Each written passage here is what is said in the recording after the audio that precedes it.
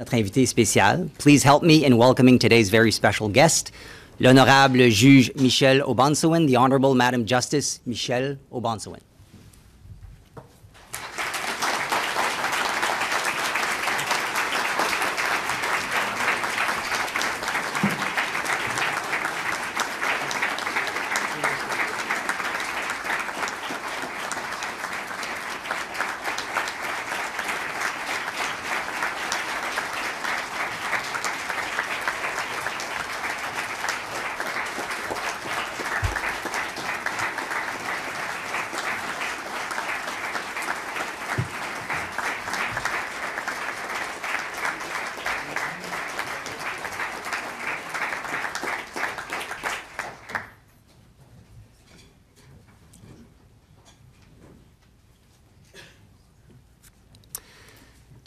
Madame la juge Obansewin, membre de la Chambre des communes et du Sénat, étudiantes et étudiants et autres invités dans la salle aujourd'hui, Canadiennes et Canadiens qui écoutez ou regardez à distance, bienvenue. We are gathered here in Ottawa on the traditional unceded territory of the Algonquin people for a truly historic event, and we thank you for joining us. Je m'appelle Alain Roussy. Je suis professeur et vice-doyen euh, du programme de Common Law en français de la faculté de droit section de Common Law de l'Université d'Ottawa. Et j'ai le très grand honneur d'agir à titre de modérateur pour cette séance d'échange entre, d'une part, l'honorable juge Michel Obansewin de la Cour supérieure de justice de l'Ontario et candidate proposée par le premier ministre pour siéger à la Cour suprême du Canada, et d'autre part des membres de la Chambre des communes et du Sénat, spécialement réunis pour l'occasion. I want to acknowledge the presence of the following individuals. The Minister of Justice and Attorney General of Canada, the Honourable David Lametti, the Chair of the Independent Advisory Board for Supreme Court of Canada Judicial Appointments, the Honourable Wade MacLauchlan, the National Chief of the Assembly of First Nations, Ms. RoseAnne Archibald, the President of the Métis National Council, Ms. Ca- Cassidy Karen, the Deputy Minister of Justice and Deputy Attorney General of Canada, Mr. François Daigle, and the Commissioner for Federal Judicial Affairs, Monsieur Marc Giroux. La nomination d'une juge à la Cour suprême du Canada est un événement très important dans notre démocratie constitutionnelle. Cette Cour de dernier ressort est non seulement appelée à trancher des litiges sur des questions d'intérêt national, mais elle est également responsable de protéger l'équilibre des compétences constitutionnelles entre les différents paliers de gouvernement et agit comme gardienne des droits et libertés et des droits de la personne qui sont enchâssés dans la Charte canadienne des droits et libertés. Respectée partout dans le monde, notre Cour suprême est reconnue pour son indépendance et l'excellence de ses juges. Given the immense responsibility that rests upon the shoulders of the judges of the Supreme Court of Canada. It is crucial that a rigorous process be followed when the time comes to select a new member of that court. In this case, the process was launched by the Prime Minister of Canada on April 4th of this year in light of the upcoming retirement of Justice Michael Moldaver. Justice Moldaver was appointed to the Supreme Court of Canada from the Court of Appeal for Ontario in recognition of the Convention of Regional Representation, the process to select a replacement was open to candidates from the province of Ontario. Since 2016, this process involves the creation of an independent, nonpartisan advisory board whose mandate is to provide a short list of candidates to the Prime Minister for Supreme Court appointments. Cette année, le Comité consultatif indépendant sur la nomination des juges de la Cour suprême du Canada était présidé par l'honorable Wade McLaughlin, ancien premier ministre de l'île du Prince-Édouard, et était composé des membres suivants. Paulette Senior, Conrad Sioui, Charlene Theodore, Jacqueline Horvat, l'honorable Louise Charon, Richard Jockelson et David Nawegabo. The advisory board conducted an evaluation of the candidacies based on the criteria released by the Prime Minister. This long list of criteria includes a superior knowledge of the law, superior analytical skills, the ability to resolve complex legal problems, an awareness of and ability to synthesize information about the social context in which legal disputes arise, clarity of thought, an ability to work under significant time pressures in any area of law, a commitment to public service, irreproachable integrity, respect for others, an ability to appreciate a diversity of views, perspectives, uh, perspectives and life experiences, moral courage, discretion, and an open mind. Le gouvernement s'est aussi engagé à nommer des juges à la Cour suprême uniquement si elles sont effectivement bilingues. Finalement, le gouvernement s'est engagé à assurer un équilibre raisonnable entre l'expertise des juges en droit public et en droit privé, à assurer une expertise dans tout sujet précis dont il est régulièrement question à la Cour suprême, ainsi qu'à veiller à ce que les membres de la Cour suprême reflètent raisonnablement la diversité de la société canadienne. After reviewing the applications that were received, the advisory committee provided the Prime Minister with a short list of eligible candidates. On August 19th of this year, Prime Minister Justin Trudeau announced the proposed appointment of the Honourable Madam Justice Michelle O'Bonsawin to the Supreme Court of Canada. She currently serves as a judge of Ontario's Superior Court of Justice. She is an Abenaki member of the Odanak First Nation, making this a truly historic moment for Canada and for Indigenous peoples of Canada in particular. Elle est aussi franco-ontarienne, et il s'agit donc, une fois de plus, d'un moment extrêmement significatif pour, la francophonie ontarienne et pour les francophones du nord de l'Ontario en particulier. Doublement diplômé de la faculté de droit de l'Université d'Ottawa, il s'agit finalement d'un grand moment de fierté pour notre faculté de droit et pour son programme de commandant français en particulier. Madame la juge Obansawin, toutes nos félicitations. Madame Justice Obansawin, congratulations. Lors d'une audience spéciale qui a eu lieu plus tôt ce matin, le ministre de la Justice et le président du comité consultatif ont comparu devant le comité permanent de la justice et des droits de la personne de la Chambre des communes pour discuter du processus de sélection et des motifs de la nomination. Le processus de nomination prévoit aussi un forum public d'échange entre la candidate et les parlementaires, et c'est cela qui fait l'objet de cette séance cet après-midi. L'objectif de l'exercice dans lequel nous nous lançons consiste à permettre aux parlementaires et à tous les Canadiens et Canadiennes qui nous écoutent aujourd'hui de faire connaissance avec la candidate proposée par le Premier ministre et d'en apprendre un peu plus sur les expériences professionnelles et personnelles qui ont jalonné son parcours et qui l'ont mené jusqu'ici. Today's proceedings are, of course, to be conducted in the highest tradition of civility, respect, and restraint being mindful of the primary importance of the principles of judicial independence and impartiality.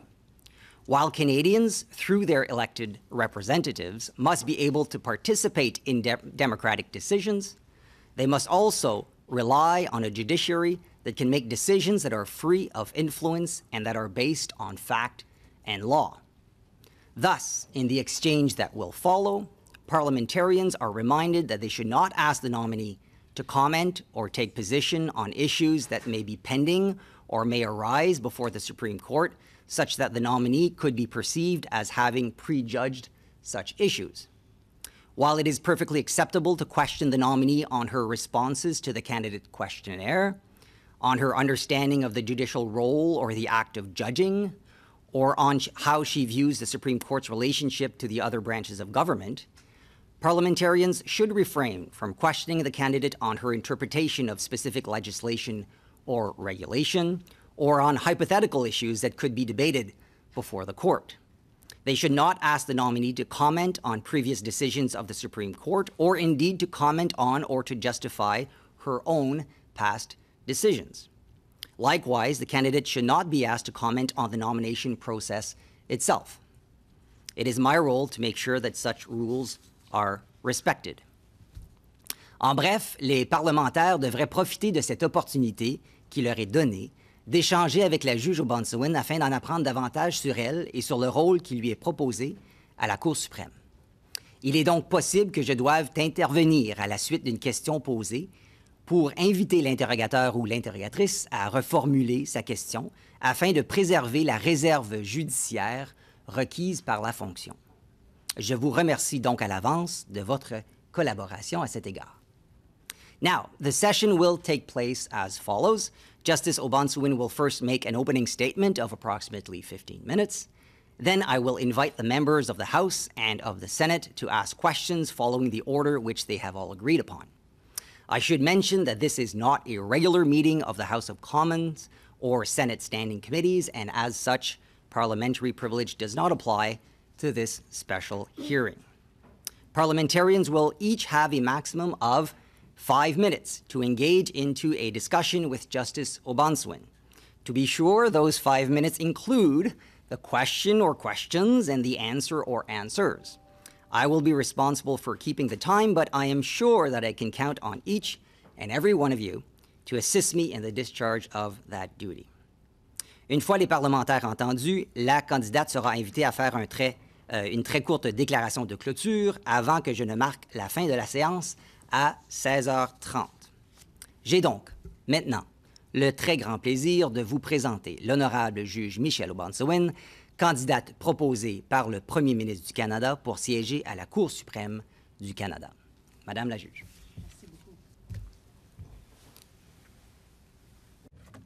Kwai Kwai Nidobak, Nadeliwizi Miselis Obansawin, Nodiawi Odanak, Wabanakik Anoba, Ta Plawino Nia. Je me nomme Michel Obansouin et je suis membre de la Première Nation de Danak. Je suis une abénakise du clan de la Tortue. Bonjour, Monsieur le vice-doyen, députés, sénatrices et sénateurs et distingués invités. Good afternoon, Vice Dean, members of Parliament, senators and distinguished guests. C'est un grand honneur pour moi d'être ici parmi vous aujourd'hui. Je me dois pincer de temps en temps pour m'assurer que ce n'est pas un rêve. Déjà, comme jeune fille, je voulais être avocate. Durant ma jeunesse, les gens me demandaient ce que je voulais faire plus tard. Puis je leur répondais toujours, je vais être une avocate. Le droit m'attirait dès un très jeune âge. J'ai grandi dans un petit village franco-ontarien nommé Hanmer, tout près de Sudbury. Je suis enfant unique, fille de Richard et Diana Bonsawin. Mon père était machiniste et ma mère enseignante. Mes parents m'ont montré dès un bas âge l'importance de travailler fort et de toujours donner mon 100% peu importe la tâche. C'est ce que j'ai toujours fait d'ailleurs. Comme enfant unique, j'ai été très chanceuse que mon père vienne d'une grande famille de huit enfants, car mes cousines qui vivaient à cinq minutes de chez moi étaient comme mes sœurs et le sont encore aujourd'hui. Cette grande famille est encore une partie très importante dans ma vie. Nous passons toujours beaucoup de beau temps ensemble, en famille, que ce soit pendant les vacances d'été ou la période des fêtes. À nos réunions de famille, la journée commence habituellement avec un smudge. Ensuite, nous dansons, chantons des chansons à réponse, puis nous passons de très belles journées ensemble. En grandissant en tant que membre d'une Première Nation hors réserve, ma famille a connu l'adversité. Je me souviens d'une conversation très mémorable que j'ai eue avec mon père. Il m'a demandé si les autres enfants riaient de moi à cause j'étais autochtone. Je lui ai dit non. Souvent, ils riaient plutôt de mon nom, qui était manifestement très différent des autres.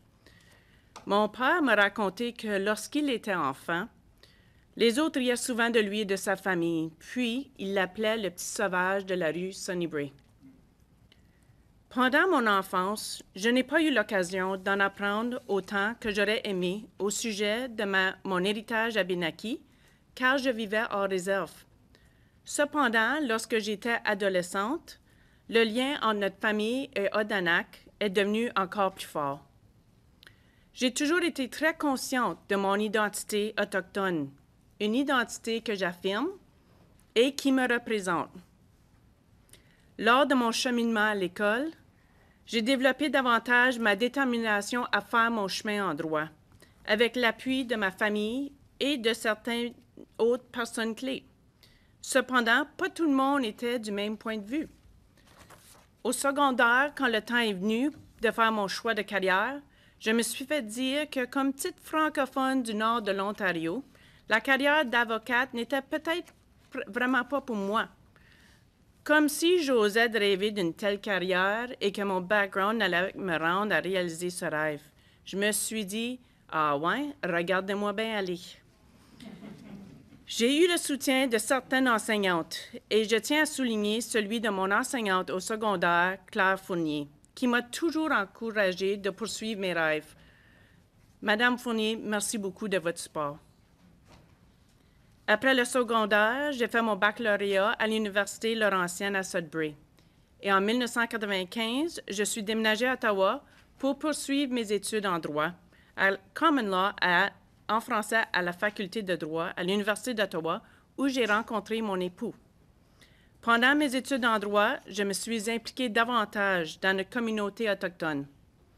Par exemple, j'ai travaillé comme bénévole à la clinique d'aide juridique au service aux Autochtones et j'étais membre de l'Association des, des étudiantes et étudiants autochtones.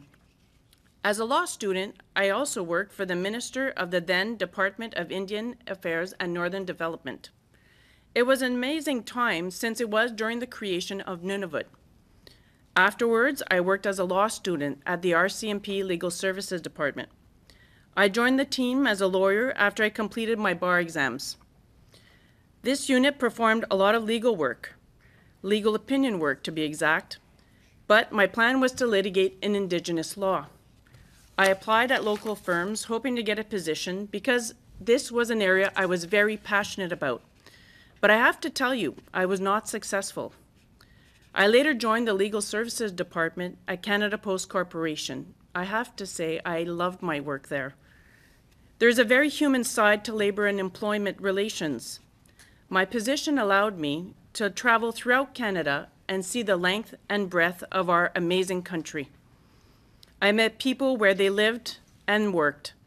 My position at Canada Post provided me with a deeper understanding of the links that tie our society together across our country. I was then recruited by the Royal Ottawa Healthcare Group because of my experience in mental in labor law, and I was tasked with creating its legal department. Once I joined the Royal, I realized that there was interesting and stimulating work in mental health law. I was fortunate enough to work with colleagues and professionals who helped me better understand and appreciate the complexity of mental health issues. I was grateful to have been surrounded by a great team, including my assistant, Nicola Tomlinson, who kept me organized, and frankly, at times, she kept the sharks at bay. My work at the Royal has provided me with insight into people who are affected by mental health issues and who are often marginalized. I met daily with psychiatrists, patients, family members, and community stakeholders. With the continuing efforts to increase Canadians' awareness of mental health issues and to destigmatize mental illness, my experience has assisted me as a judge to review all cases with an open mind and sensitivity. Institutions such as the Royal provide vital services to our population, which have become even more important in the last two and a half years due to the pandemic. Since the Royal is a teaching hospital, I was able to perform research into mental health legal issues. This provided me with a clearer understanding of the nexus between mental health and the law. My specific research was in the area of mental health law and the possible use of Gladue principles in the forensic mental health context. The forensic mental health system uh, deals with unfit and not criminally responsible accused due to mental illness. Gladue principles require sentencing judges to pay particular attention to the background of the Indigenous accused. These principles have also more recently been used in bail hearings. In 2014, I completed my master's in law at Osgoode Hall with a specialty in mental health. During that period, I continued to work full-time as general counsel at the Royal. I was very involved in its initiatives regarding mental health and Indigenous people. The residential school system impacted survivors and their families in a devastating way. I started speaking at conferences about these issues. I was approached to become a member of the University of Ottawa's Board of Governors. My hope was to add an Indigenous voice to that board. I shared my mental health law experience to assist with the emerging, issues faced by students and employees and raise concerns facing Indigenous students' access to post-secondary education. In 2016, I decided to pursue my PhD in law at the University of Ottawa. I was encouraged in October of that year, I was encouraged to apply to the Superior Court of Justice, which had always been an ambition of mine. I submitted my application in May, and in May 2017, I was fortunate enough to be selected for the role. By that time, I had completed my PhD mandatory coursework. I took leave from the program for a period of about two years in order to focus completely on my role as a judge. I will be honest and tell you that as much as it was exciting joining the bench, it was also quite the adjustment.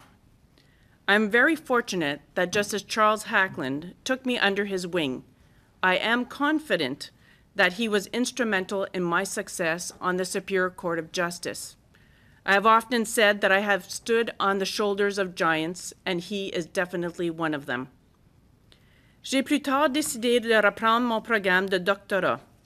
C'est une bonne chose que je suis une femme très organisée.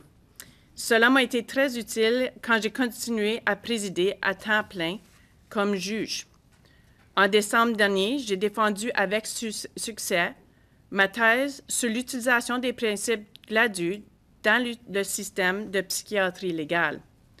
Mon superviseur, Juan Veloso, a cru dans mes recherches même lorsque d'autres se demandaient s'il était possible d'être juge tout en suivant un programme de doctorat. Cela n'a pas été facile à, réaliser. J'ai dû trouver l'équilibre entre mon travail de juge et mon doctorat tout en essayant d'être la meilleure mère à deux fils et une véritable partenaire pour mon époux.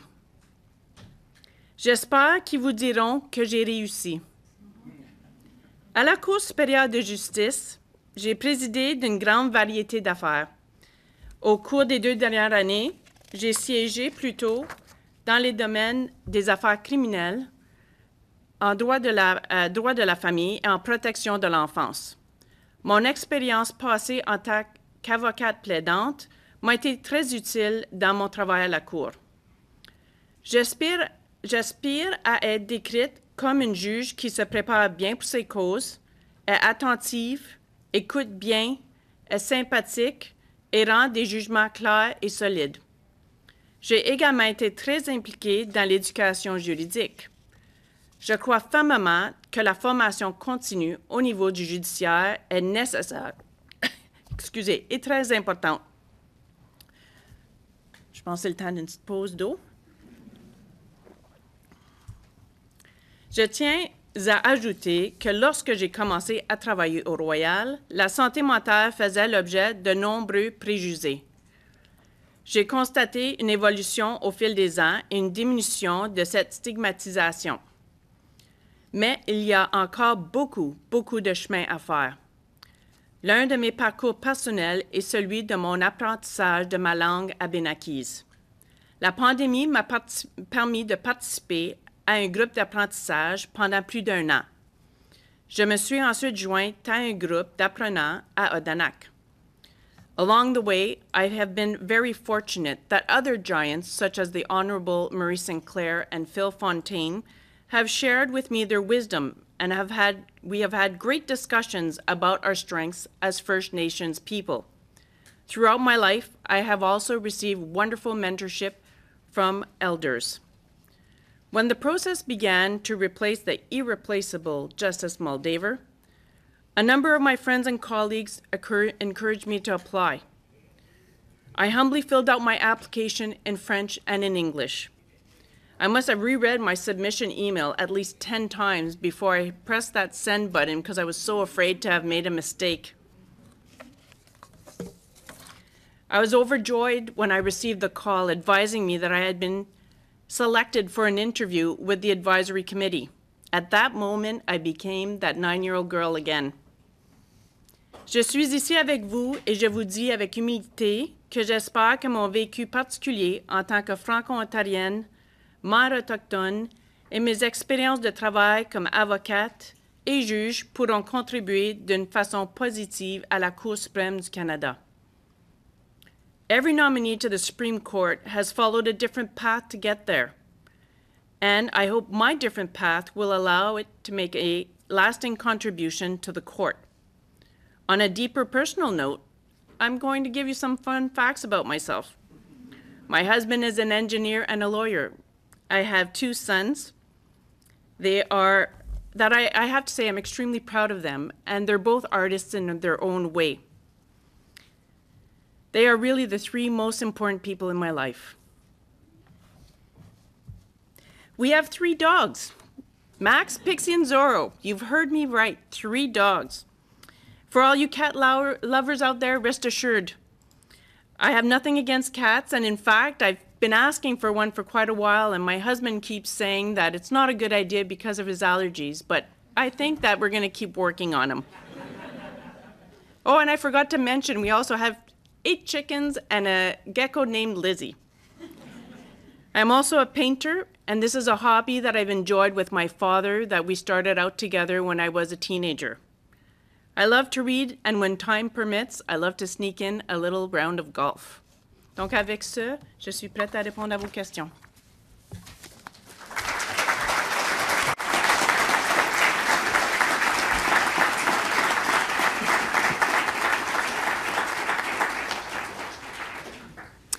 Merci beaucoup, Madame la juge. Euh, donc, on va maintenant passer à la, la période de, questions. Friendly reminder of the uh, five minutes uh, that we all have at our disposal for those uh, in the room, because as we will soon see, uh, this will be a, a, really kind of a post-pandemic uh, kind of session in the sense that we we will have approximately half of our uh, questioners in the room and half of our questioners online. Uh, for those in the room, you can see uh, the time right in front of um, your noses. Uh, so thank you for that. Uh, the first questioner will be Senator Mobina Jaffer, who is the chair of the Senate Legal and Constitutional Affairs Committee, uh, joining us uh, online, virtually. Senator Jaffer. Thank you. Thank you very much. Madame la juge, O'Bonsawin. Je tiens Je tiens tout d'abord à vous souhaiter la bienvenue à Ottawa et à vous féliciter sincèrement de votre nomination à la Cour suprême du Canada. Cool. Madame la Bonne Savant, how do you believe that Canada's most vulnerable populations benefit from feeling, seeing, and heard to the Supreme Court's decisions. Perhaps you could explain as well your vision of equity versus equality in Canadian society. Just one moment, please. I'm just wondering, is it possible to see the members on the screen in front of me when they speak? We'll try, to get Sorry. that. We'll try to get that fixed. For, for the moment, uh, we can see them on the left and the right, but uh, ide- ideally, we will see them right in the center as well. Okay. Thank you very much. Thank you. Now I can see you. Um, I think it's very important for people who have issues with mental illness to be seen and heard. It impacts so many in our population, and I'm sure many of us here know someone who's been impacted by mental illness, either personally or as members of their family uh, and uh, friends. Um, I think that in order for them to be part of society and to feel involved, it's important for them, as you said, to be seen and heard. And that's all part of inclusivity, and it's part of our charter values about having equality and dignity. Uh, with regard to uh, equity versus equality, um, it, these are all principles that are very important related to the charter. And again, uh, I would say that people who are affected by mental illness need to be supported throughout our community because at the end of the day, everyone is value added, and we can never forget that. So I would say that um, we always have to remember our charter values and make sure that we're a very inclusive society. Um, ma- Madame Madame uh, Judge uh, Bonsavan, you know, you have spoken the difference between equality and equity. And I would like you to share our vision of what, what you mean in the difference between treating people equally or with equity. Well, I think that everyone has to be treated equal under the law, and that I, I've spoken about when uh, I was asked that question in my application. Um, when I think of um, equality, I would think that that's protected under Section 15 of the uh, the Charter, and it's something that we should all aspire to achieve as part of uh, members of our society, Canada throughout. Um, with regards to, to the issue of equity, I think they go hand in hand, and that um, I, I, think that's all that I have to say about that issue. So I want to ask you also about, given your expo- expertise with Gladue principles and your doctorate, how do you think should be incorporated into our judges training, ed- continuing education training, the Gladue principles, Gladue training? You've talked in your questionnaire about the different training you think should take place, but I'm interested in how you think would Gladue principles be incorporated in judges training? I think it's essential, and I've been a strong proponent about talking about Gladue principles. I've been invited to speak at many conferences about this issue. And um, whenever either C- the CIAJ or the NJI ask me to attend, I'm always a willing participant. Because at the end of the day, we all have a responsibility as sentencing judges, judges who also do bail hearings, uh, under the criminal code to apply um, the to look at the background of indigenous accused when they appear in front of us because it's that understanding that's required for judges to be able to make a fulsome decision by looking at the facts what's in front of us as uh, the issue but also looking at the particular background of those indigenous accused so i, I always said it's extremely necessary and i think it's uh, it should be something that we're constantly striving to achieve to be fair when these people in, appear in front of us. Thank you. Thank you very much, Senator Jaffer. Um, the next question goes to um, MP Randeep Sarai, who is the chair of the Standing Committee on Justice and Human Rights. Thank you, uh, Vice Chancellor Alain uh, Roussy. Uh, Just hours before, during our Standing Committee of Justice meeting on this nomination process, the nomination of Justice uh, Michelle O'Bonsawin was described as landmark, historic, and episodic, and that to a group of elected parliamentarians. However, as a young South Asian being born to immigrant parents in the late 70s, I've witnessed a lot in the past 40 years. Always a dreamer and an optimist, I always believed that Canada would be a place where everyone felt welcomed and is a part of the fabric. But I also never realized the daunting challenges that it faced in terms of reconciliation and healing. But I believe the future is a lot brighter. Just look at us today. We have a South Asian Muslim senator who heads the Justice uh, and Constitutional Affairs Committee, a Sikh member of Parliament who's the Standing Committee of Justice chair. And if you look at this room, the abundance and variety is even more abundant. And we have a nominee that is uh, nominated by an Italian Canadian Attorney General. And if I went around this room, it would even be broader. So Justice O'Bonsawin, as a trilingual woman, Abenaki member of the Odanak First Nation, mother of two, how do you think your life experience and background will assist you in the role as Justice of the Supreme Court of Canada? Well, I'm hoping that my background, because I, I am an Indigenous person, I'm a Franco Ontarian, I grew up in a very small uh, rural community. Um, I'm hoping that all that life experience will bring me a unique perspective that hopefully is going to be beneficial to the Supreme Court of Canada. I also think that um, my professional experience in mental health law and uh, my extensive research that I performed for my PhD uh, with regard to uh, the use of Gladue principles um, and if it's possible to apply them in the forensic mental health setting.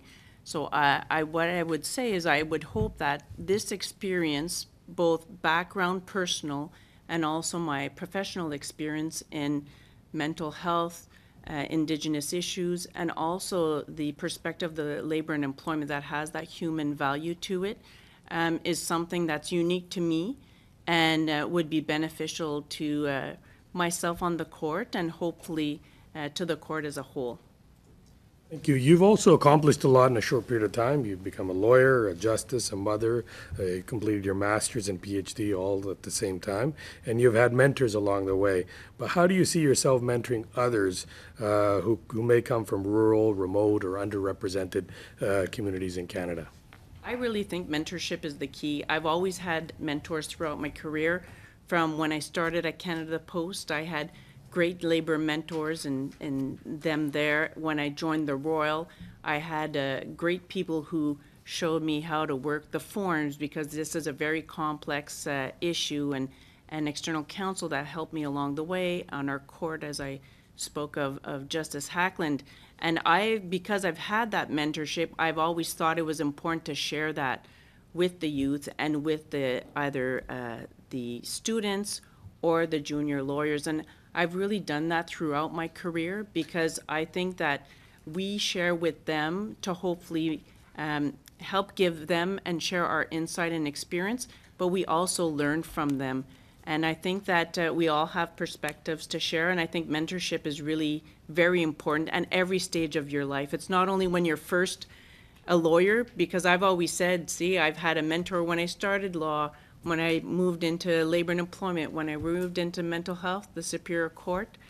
And um, it's really just made me a better person. So I, I hope to do that for others, and I, I have done so for quite a while. Thank you. As, uh, as the first Indigenous woman judge appointed to the Ontario Superior Court of Justice in Ottawa, did you face any challenges when applying to the bench?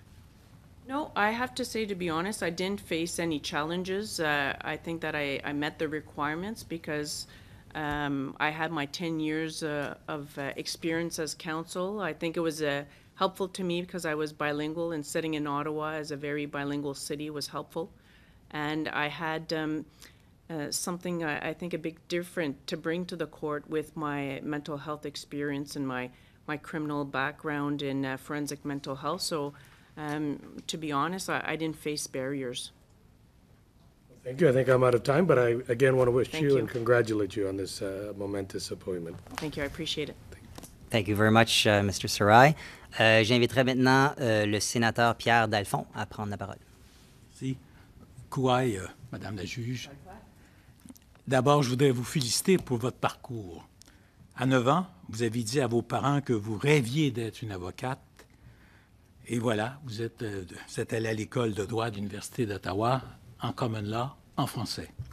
En deuxième année à la faculté de droit de l'Université d'Ottawa, vous avez assisté à une conférence donnée par le commissaire à la magistrature fédérale qui, en réponse à une question qui n'était pas de vous, mais d'une autre personne, a déclaré que la juge idéale, une personne, c'est une femme bilingue avec des, origines autochtones. Vous avez commencé à rêver de devenir juge. En 2017, vous avez été nommé juge à la Cour supérieure de l'Ontario. En 2019, dans le cadre d'une entrevue avec la télé, Ontario français, vous avez parlé d'un autre rêve, être juge à la Cour suprême du Canada. Aujourd'hui, vous voilà recommandé par le comité aviseur et proposé par le premier ministre pour la Cour suprême à 46 ans, au même âge que l'a été la très honorable Beverly McLaughlin. Madame la juge, quel est votre prochain rêve? Je dois, je dois te corriger et dire j'ai 48, donc j'ai pas 46. Un petit peu plus vieille. Souvent, tu veux toujours dire tu es, plus jeune, plus jeune, mais quand tu es juge à un bout, c'est toujours mieux de l'air un petit peu plus vieille. euh, mon, mon, prochain rêve, c'est vraiment euh, d'avoir le plaisir, si possible, de joindre la Cour suprême, euh, faire le meilleur travail que je puisse en ajoutant ma voix. Euh, avec euh, mes expériences personnelles dont je vous ai parlé, euh, dans mon expérience professionnelle, puis travailler avec mes collègues pour rendre des décisions qui sont justes, puis bonnes pour les Canadiennes et Canadiens. Donc, c'est vraiment mon... J'atteins mon rêve. je vais commencer par espérant faire le premier, puis ensuite, je vais peut-être penser à quelque chose d'autre plus tard, mais vraiment, je vis le moment. Puis, je me compte très, très chanceuse d'être ici parmi vous aujourd'hui. Pour cette réponse. Ma deuxième question, euh, les tribunaux ne participent pas au processus politique, mais parfois il est difficile d'établir une distinction claire entre le droit et les politiques. Euh, Peter Hogg a parlé d'un dialogue entre les parlements et les tribunaux, en particulier la Cour suprême du Canada. Quelle est votre vision du dialogue entre le Parlement et la Cour suprême? Pour être honnête, je dois dire que c'est un peu limité parce qu'on a chacun notre rôle à jouer. Donc, vous, comme parlementaire, vous avez un rôle plus législatif, euh, niveau social aussi. Nous, comme juristes, c'est différent parce que nous interprétons ces lois-là. On s'insère moins dans les normes euh, sociales, je dirais. Donc, euh, je pense qu'il y a quand même une distinction assez claire à faire entre les deux. Puis, moi, comme juge, c'est important pour moi d'être venu comme quelqu'un qui est impartial, puis que, qui va regarder un dossier, puis faire une décision basée sur le fond de l'affaire. Donc, euh, je pense vraiment, euh, je vais continuer à faire mon rôle, puis vous pourrez continuer à faire le vôtre. Ben, je pense que c'est une excellente réponse. Et je dois dire que je me réjouis du fait que vous êtes la première femme qui a, une, qui fait de la common law en français nommée à la Cour suprême, la première femme autochtone. Et je pense que le Canada a beaucoup d'attentes à, vo à, votre égard et je pense que nous allons en apprécier beaucoup votre contribution. Merci. Mais, merci. Merci beaucoup, uh, Sénateur Dalphond. Um, we are going back online now. The next uh, questioner is MP Rob Moore. Thank you, Chair, and uh, thank you uh, to um, to you, Justice.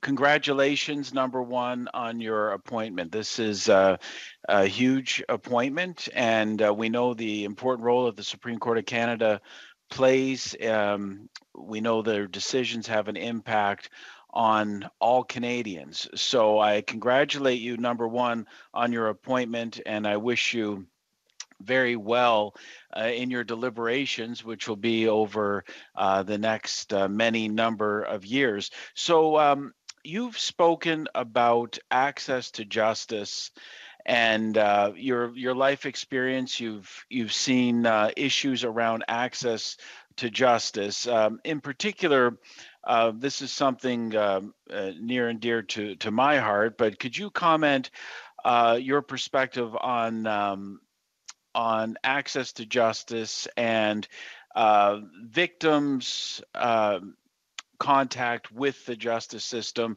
and how how judges uh, can help facilitate a system that um, all Canadians uh, see themselves in, particularly victims. All right, so that's a loaded question. I've broken it down into really three categories. So I'll start off with um, access to justice. I think that we've seen a huge improvement, to be honest, in the last uh, couple of years because of the pandemic. Mm. It's created access to many Canadians to have access to justice because now a lot of uh, court processes, court filings can be done by uh, electronic means. Uh, is it a perfect process? Absolutely not. Uh, there remains a many Canadians that do not have access to electronic means to be able to have that. Um, I think uh, there are issues with access to justice that have to be looked at, which are, are social issues, and a lot of it has to do with uh, monetary issues and poverty. But that I'll lead for the legislators to deal with some of that. Um, with regard to victims, they definitely do have a role to play. As you know, they have a charter um, they have a right to be heard. So when we do criminal trials, uh, there are provisions in the criminal code that permits them uh, to appear in front of us, to uh, provide us with um, their declarations. But let me just step back. When they appear in front of us, uh, there are provisions under the code that prevent uh, that do provide uh, that, for example, screens could be up so that when the person testifies, um, she or he will not see the accuser. Uh, so norms could be put in place. And I think as a judge, a sitting judge in criminal court, I'm conscious of that and mindful because we have to be conscientious of those things. Um, they also have a right when it comes time to sentencing to provide us with a victim impact statement. And those, uh, I can assure you, are considered closely uh, when we're sitting on sentencing. Um, and how can we facilitate these issues? Well, it's to be mindful of it. I think uh, continuing education is always the key.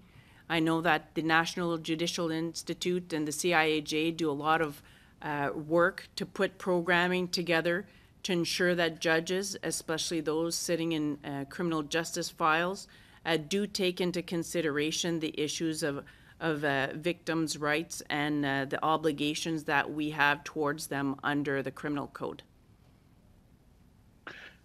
Thank you for that. And um, quickly, I I only have a minute left, so I'll try to ask this quickly. But uh, you um, in your application you stated a judge must remain free of influence or pressure must not engage in public discussions regarding matters before the court and avoid commenting on political issues but we do know from time to time sitting judges are invited to for example write articles and make speeches on general legal policy issues what um, parameters do you see should be in place or should be exercised by sitting judges, including yourself? What should uh, be imposed on yourselves in making uh, speeches or writing articles as you now embark on this uh, on this new appointment?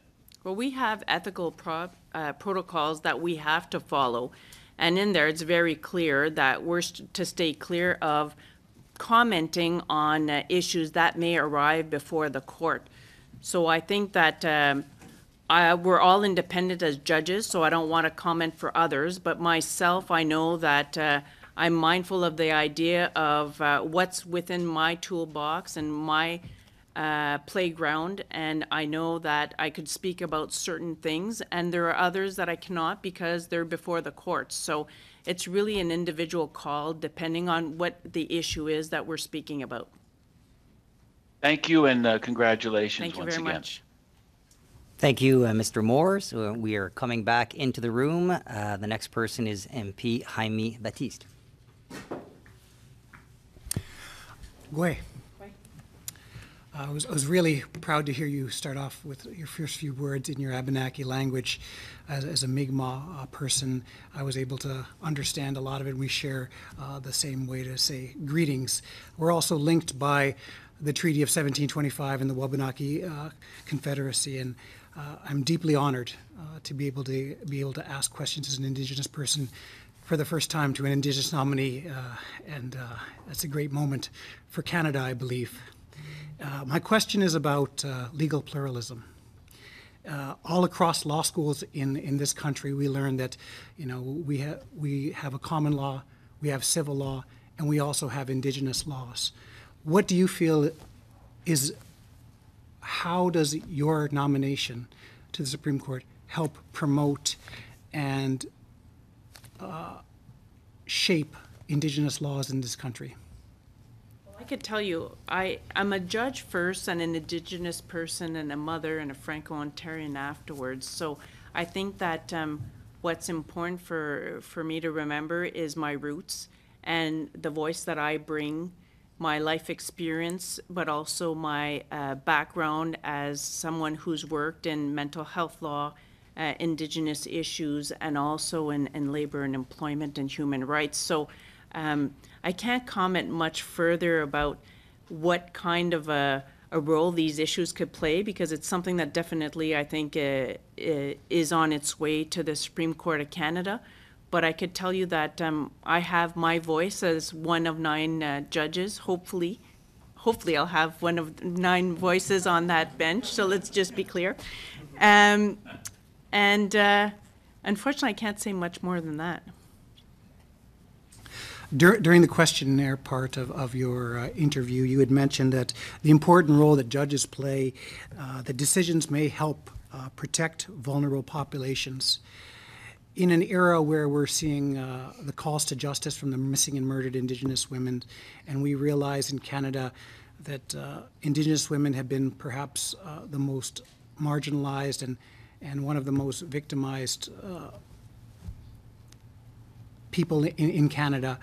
I'm wondering what you feel the importance of for Indigenous women out there to see you now as a nominee uh, at this level? And what do you think that it is going to do for not just Indigenous women in Canada, but for those young Indigenous women who you mentioned as, as a nine-year-old yourself were uh, dreaming of this, to see this in person today? What do you think it means to them? Well, I, I'm hoping it's going to inspire them because I come from a very small rural area where I was told, "Oh, Michelle, you're not going to be, uh, you're not likely not going to be a lawyer because you come from this small uh, town in northern Ontario."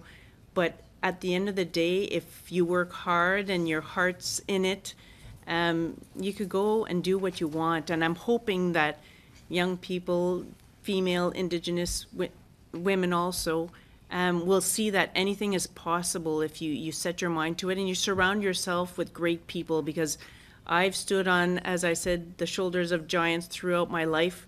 They've helped propel me up.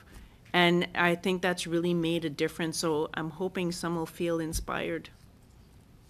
In the last minute of a, a question that I have, questions that I have, I'm wondering if you could talk to some of the key Indigenous teachings that you've received in your life uh, that have helped shape where you are today. I think being humble, which is the first one, um, it's really uh, important to recognize our place where we're at in the world because um, we have to work our way throughout life by remembering who we are and what our roots are. And no matter where we are in society and how we how far we move up, we always have to remember where we come from. Um, I think honesty um, has always been extremely important in my life. I'm a tell it as it is person. I don't sugarcoat things.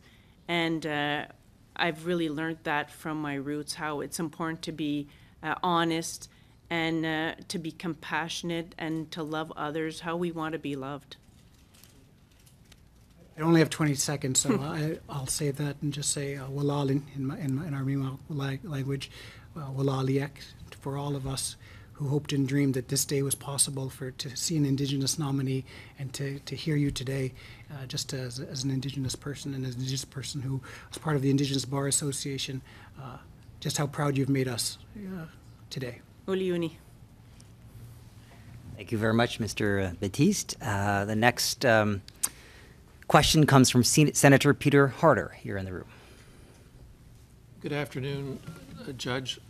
I wrote in my book after you finished your opening comments, so normal and so exceptional. And I think that those are the characteristics that uh, have come through in your questions and responses, and I thank you for that.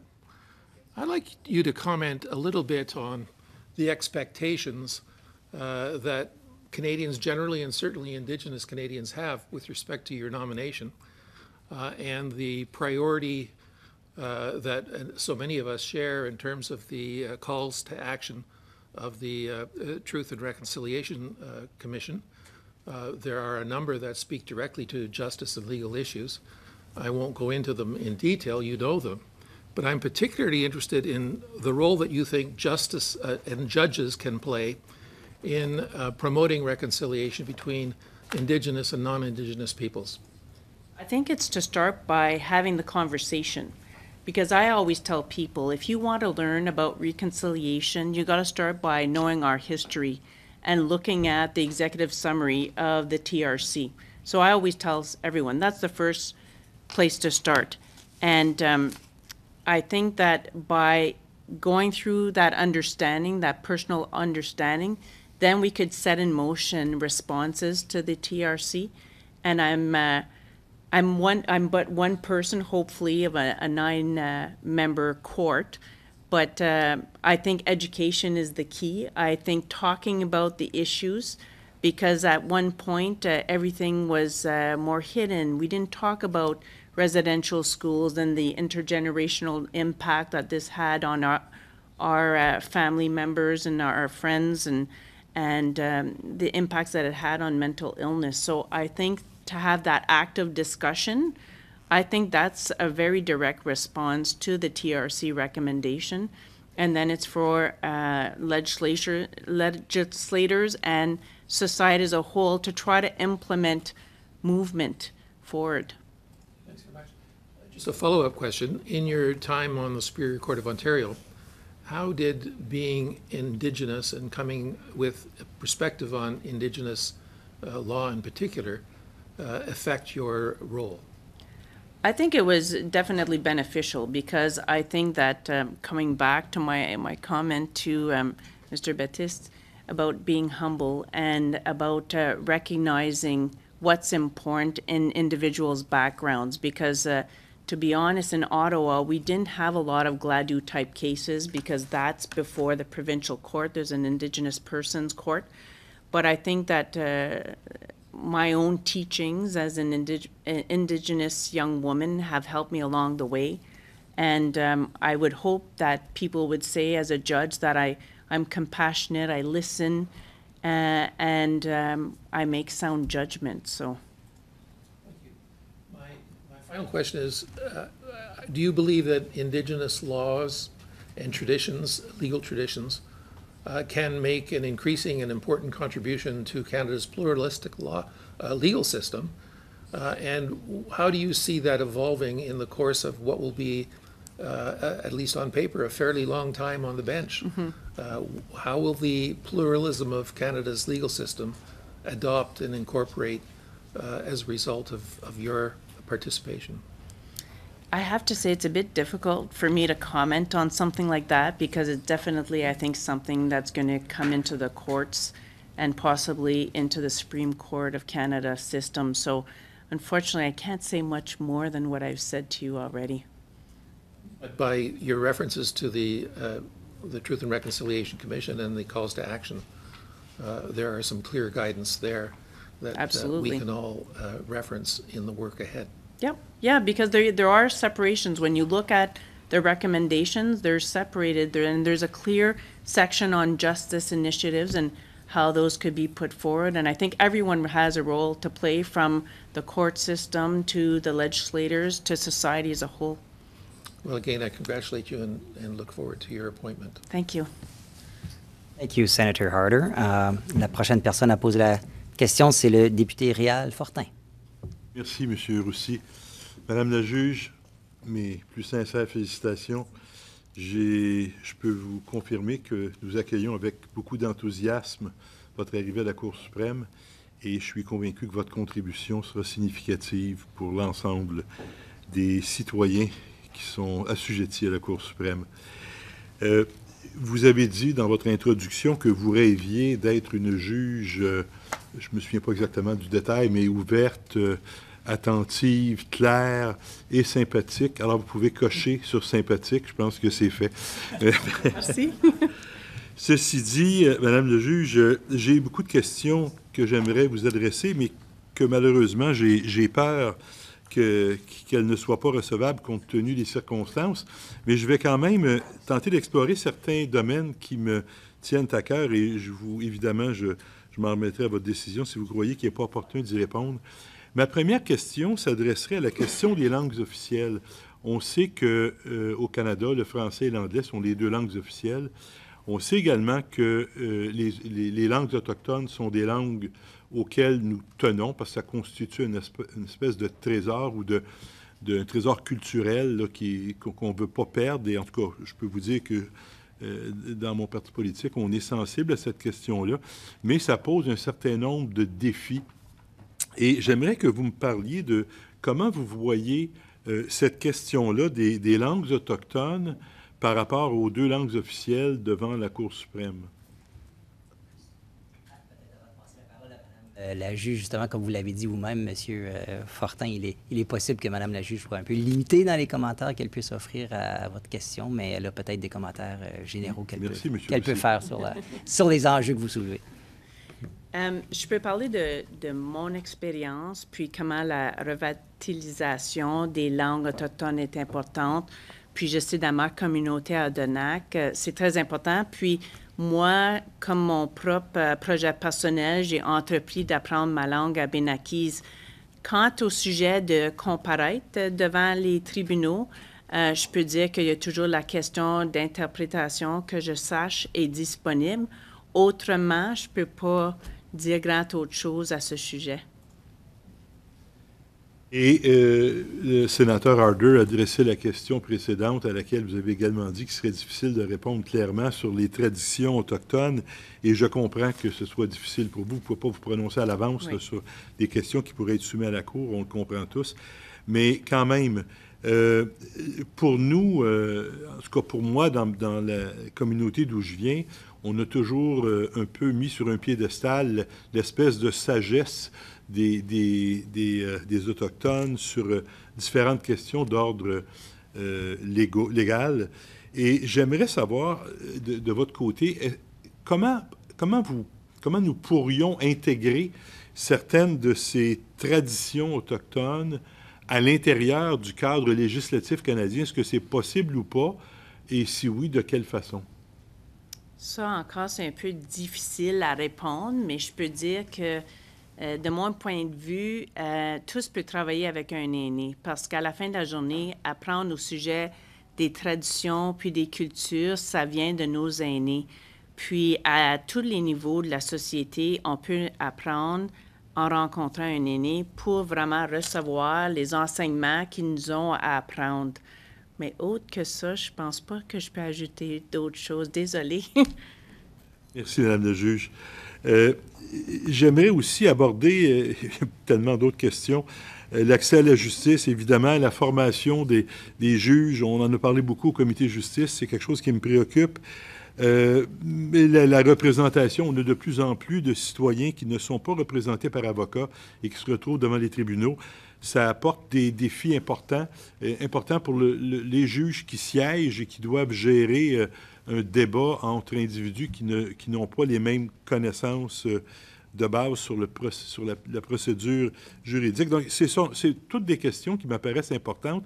Il me reste euh, même plus 30 secondes, mais je vais m'attarder sur une seule. C'est par rapport euh, au Code civil du Québec. Vous savez, évidemment, j'en suis certain qu'au Québec, le droit civil est régi par le Code civil du Québec, contrairement aux autres provinces où on parle de la common law. Alors, euh, quelles sont vos connaissances par rapport au Code civil du Québec et comment vous comptez intégrer ces principes de droit-là dans votre pratique en tant que juge? Je vais être honnête, j'ai, euh, je suis très limitée en connaissances euh, en droit civil. Moi, j'ai fait mes cours euh, en common law à tous les niveaux, en droit, ma maîtrise, puis mon doctorat. Euh, mais je peux m'engager maintenant devant vous et tous ceux ici que si je suis choyée d'être nommée euh, à la Cour suprême, que je vais apprendre euh, puis faire mon devoir parce qu'à la fin de la journée, il y a trois collègues qui siégeront euh, ou qui siègent à la Cour suprême qui sont experts dans ce domaine-là, puis que je m'attends de qui vont m'aider à me guider dans cette question pour que moi-même, je puisse faire mes propres apprentissages parce que moi, je suis une étudiante de la vie. Comme vous voyez, j'étudie puis j'apprends continuellement. Merci, Madame le juge. Et félicitations encore. Merci. Merci, Monsieur Fortin. On passe maintenant à la sénatrice euh, Renée Dupuis qui est en ligne. Merci, Monsieur le modérateur. Euh, félicitations, Madame la juge Obomsawin. Euh, je suis convaincue que votre détermination va être une source d'inspiration et d'espoir pour beaucoup de femmes plus jeunes et de jeunes filles canadiennes. Euh, et donc, je vous en remercie. Ma question, euh, elle a trait à la partie 10 du questionnaire où on vous interrogeait sur la fonction judiciaire. Et vous parliez des croyances, je, je cite, les croyances dans d'autres régions du monde ne peuvent influencer ou affecter la façon dont notre Constitution sera interprétée et appliquée aux Canadiens, qui doit l'être indépendamment de la présence d'éventuelles forces extérieures. Je pense que votre phrase est claire. Ma question porte plutôt sur les jugements des tribunaux des autres États, par exemple les autres pays du Commonwealth, euh, dans l'interprétation des droits constitutionnels, par exemple des droits reconnus et confirmés aux peuples autochtones au Canada. Est-ce qu'à votre avis, il y a un rôle, euh, les jugements des États étrangers peuvent jouer un rôle dans l'interprétation qu'on fait de ces droits-là ici et que vous aurez à faire comme juge de la Cour suprême? Encore une fois, il est possible que Madame la juge soit un peu limitée dans les commentaires qu'elle euh, qu'elle offre à, votre euh, question, Madame la sénatrice, mais elle peut euh, probablement nous fournir des commentaires généraux sur la question. Je peux dire que ça dépend vraiment du dossier qui est présent devant le tribunal. Puis, euh, c'est une question vraiment à être déterminée cas par cas. Quel rôle qu'ils peuvent jouer à ce moment ci Je ne peux pas ajouter un commentaire parce que c'est des questions qui peuvent comparaître devant les tribunaux, puis je ne peux pas préjuger euh, une telle affaire. Donc, vous n'excluez pas, si je comprends bien, euh, que des, des, jugements de d'autres pays puissent avoir un rôle à jouer ou puissent avoir une certaine utilité. Vous ne l'excluez pas par principe. Je, je, dis ni non et ni oui. À la fin de la Merci. journée. Euh... Mon autre question porte sur une réponse que vous avez donnée, toujours dans la même partie 10, à la question 3, sur le rôle d'un juge dans une démocratie constitutionnelle. Vous dites qu'un juge doit faire preuve, une juge doit faire preuve de grandes compétences pour atteindre l'équilibre délicat entre les besoins du public et les droits de l'individu. Est-ce que vous pourriez préciser, je n'étais pas certaine de bien comprendre ce que vous voulez dire par les besoins du public. Est-ce que vous pouvez préciser ce que vous voulez dire dans cette phrase-là? Moi, je dirais c'est vraiment pour balancer entre les deux. Donc, l'individu versus n'importe quoi qui n'est pas un individu, ça, c'est pour moi le public. Ça peut, ça peut être institutionnel, ça peut être un groupe, donc ça peut être euh, n'importe quoi qui est varié, qui n'est pas un individu. Je m'excuse, euh, peut-être mon, mon langage n'était pas assez clair dans mon formulaire, mais à la fin de la journée, c'est toujours à balancer euh, par l'entremise d'une évaluation de la charte où est-ce que ces, valeurs tombent? Donc, c'était le terme les besoins du public que vous mettiez euh, en opposition avec les droits de l'individu. Donc, c'est, euh, je me demandais pourquoi le terme besoin. Euh, et si je comprends bien, c'est quand un litige met en, en présence les droits d'un individu par rapport à l'ensemble de la situation sociale, c'est ce dont on parle. Merci, félicitations encore. Merci beaucoup. Merci beaucoup, Madame la Sénatrice. Um, la, the next uh, question goes uh, back here in the room to uh, MP Lori Idlow. Yan na mi akswaro upige yung mavagit uh, pilirya kasi mayatit akswaro pikkonaklutik uh, takuminaktudlutit amaro nireong niyang met amisum magayarong nito ni sisimagavi koyari vagi. Um, I wanted to first thank you very much. I wanted to congratulate you. Can you add, can you give me back my five minutes? I, I'm going to translate what I Non, just juste said. qu'on n'a pas d'interprétation, je voulais simplement le mentionner. Ah, désolé. Can you give me back my five minutes? Oui, peut- euh, on peut remettre un peu de temps sur l'horloge, s'il vous plaît. Merci beaucoup. Kuyanami, sivudlangmi, akswara upigi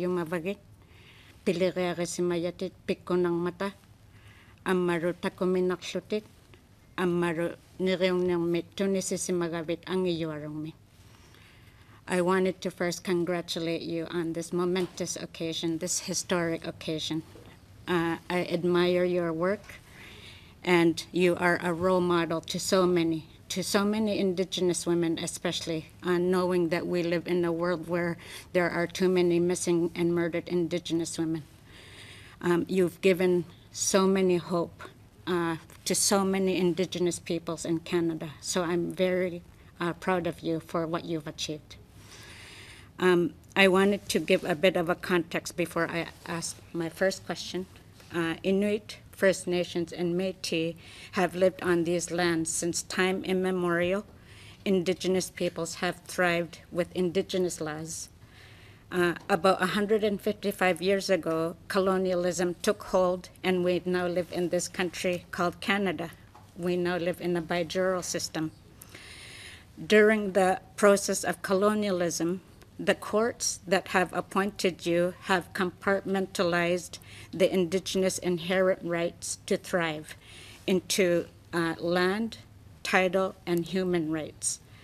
Uh, your, uh, your appointment opens the space that's needed to ensure that the court's legitimacy is strengthened to a pluralistic legal system at the highest level. How will you, as an Indigenous justice, work with the Supreme Court of Canada to lead in the potential for Canada to be in a pluralistic legal system that reconciles with Indigenous laws of which have purposefully been ignored and hidden? In other words, how will you ensure that Indigenous laws are seen and heard? O yan.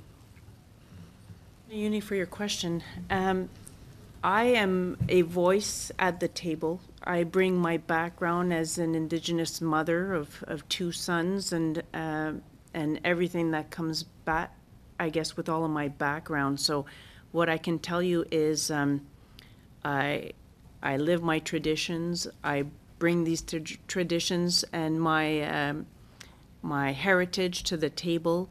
Um, I'm a voice of, hopefully, a voice of nine, whereas um, we make our decisions based on the file that's in front of us and the facts and the law that's as it's presented. But uh, I can tell you that uh, I do bring my voice as an Indigenous person, and, and that's what I, I have to offer, in addition to my own um, experiences and also as my uh, work experience. And, and I think, especially in my my research into um, Gladue principles and how they apply to sentencing, and I hope that that experience um, is going to be helpful to the court.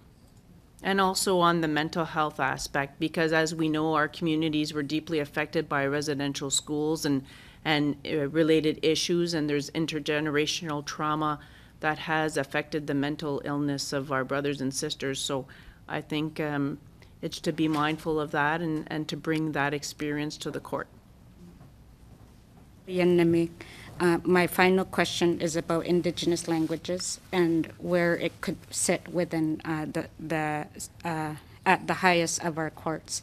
Uh, this morning during our hearing, uh, I had asked a question in my language uh, as a person with my, and my question was not properly interpreted uh, into English, and I wasn't able to correct that question. And I think that's that is a often a reality that is experienced by uh, individuals in the court system who have non-indigenous lawyers uh, that don't understand them fully. What role do you think the Supreme Court can do to make sure that indigenous-speaking uh, people in the justice system are better heard uh, in terms of seeking justice? I think it's a bit difficult to provide an answer to that question per se, but I could tell you that um, uh, in my experience on our court, uh, we have translation services. I saw this morning, unfortunately, it didn't work out in your situation, and I would hope that um, if uh, we appear in front of courts with our language, that we would have proper translation. Thank you, Ms. uh, Islout, uh, Idlout, sorry. Um, Next um, questioner is uh, Senator Kim Pate. Thank you very much and welcome. Congratulations. I've heard in the last uh, few days from many, many Indigenous women all across the country at all levels, and uh, there's a lot of weight on those shoulders that sit in before us.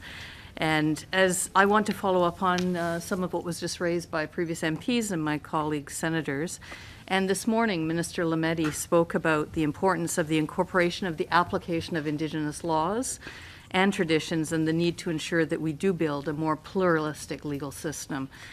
As we move forward in the spirit of reconciliation, in light of the calls to action that you've referenced and many others have, of the Truth and Reconciliation Commission, as well as the calls for justice from the Missing and Murdered Indigenous Women and Girls Inquiry, as well as the stated objective of this government to reduce mass incarceration of Indigenous women, particularly in light of the reality that now uh, and over the past four decades, every effort to reform the system has paradoxically resulted in inadequate protection and support for those very Indigenous women who've experienced victimization and the results of colonial racism, in addition to the astronomical increase in the rates of incarceration of Indigenous women in particular, to the point that they now represent half of federally sentenced women serving two years or more, three quarters and more of the, serv- the women serving provincial sentences, particularly in the prairie region, and an astronomical 95 to 100 percent of the young women and girls in the youth system in the prairie provinces and northern territories. What is your view of the role and importance of the judiciary in remedying these wrongs by decolonizing current approaches, including by ensuring the application of Indigenous laws and traditions? Well, I'll start off by recognizing the number uh, I think it was Dr. Zinger's last report that showed that Indigenous women are close to 50% of the incarceration rates, and we're less than 5% of the population. And uh, you and I have worked on this in the past when you were with the Elizabeth Fry Society and I was general counsel at the Royal, where we would face these issues where um, we had uh, Indigenous people in the system. Um, I think that education is the key. That's what I would say is is my part of talking about Gladue principles and how these can improve uh, the process for judges to get an understanding of how 718.2E of the Criminal Code and in the bail provisions, how those work, um, how the Supreme Court of Canada sets that pace. Unfortunately, I can't comment on that, but I think, um, and I, I always repeat myself when I say this, but um, education is very important. It, it's uh, the key uh, at all different levels with public education, uh, with regard to the different uh, reports that have come out. I also want to mention the Viens report that talked about these issues also.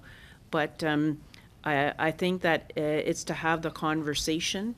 And um, unfortunately, I can't comment further with regard to what the Supreme Court itself can do other than to be mindful of these issues as they appear in front of the court.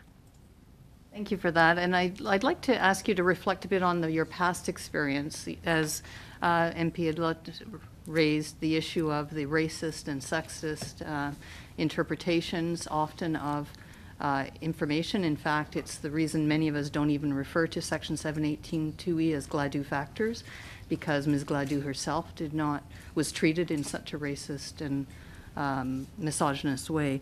And so I'm curious as to how you, as a judge in the past, have taken those have, have tried to bridge so that those interpretations that are often presented even by counsel uh, before the judge, sometimes replicated, as we know, by judges' decisions, how you have in the past addressed those issues and what you see going forward in terms of ways that judicial education could remedy those circumstances.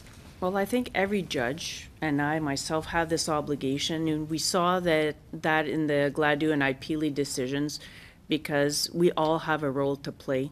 I wrote about this in an article before where um, the people who appear in front of us, lawyers, and ourselves. And um, I have had issues, and I've seen this more on the bail side of things, where I'll recognize a name as Indigenous from my community or from a sister community, for example, where I'll ask, and this is, uh, we see this unfortunately with self represented accused. So I remember telling that um, man, uh, you know, have you talked, have you told anyone that you're Indigenous? I recognize your name. And he said, well, no, I, I haven't. So I had asked duty counsel who was there to have a discussion uh, with him to educate him as to what that meant because when they're self represented, they really just don't know. Um, and that comes back to uh, education of, of, judges, where it's important for everyone in the legal community, not just judges, but lawyers also, to understand what it means to represent an Indigenous person and to ask the questions because unfortunately, at times, they'll take the client as they come and they don't ask more information other about the index offense and what happens. So I think we have an obligation in the legal system as a whole to ask the questions about the Indigenous person's background, what kind of an impact did this have on the index offense and what led them to be in front of us?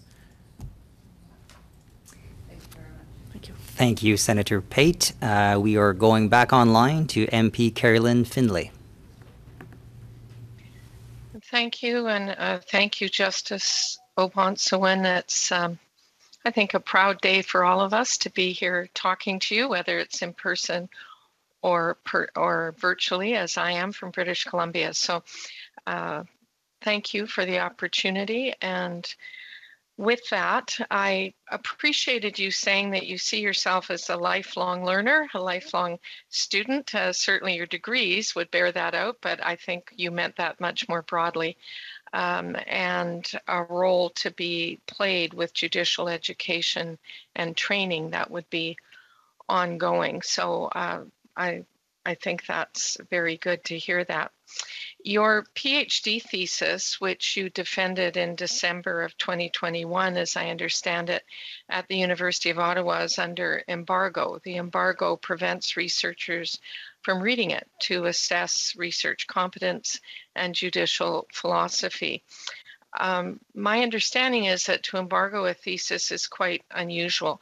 So, could you just clarify why that was done? I think it's unusual because my understanding is um, not many judges uh, actually go through the PhD process while they're still sitting.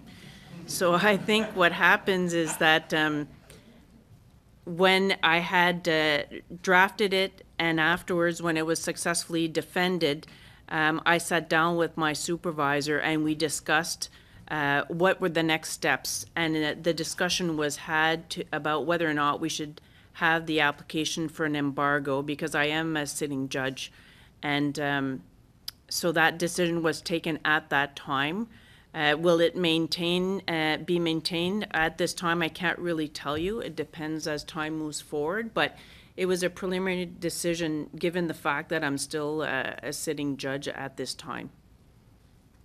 Thank you for that explanation. And uh, is there anything uh, you might want to comment about um, your thesis or the relevant research in a general way that you think may um, assist in your new role and responsibilities, or is that not possible then?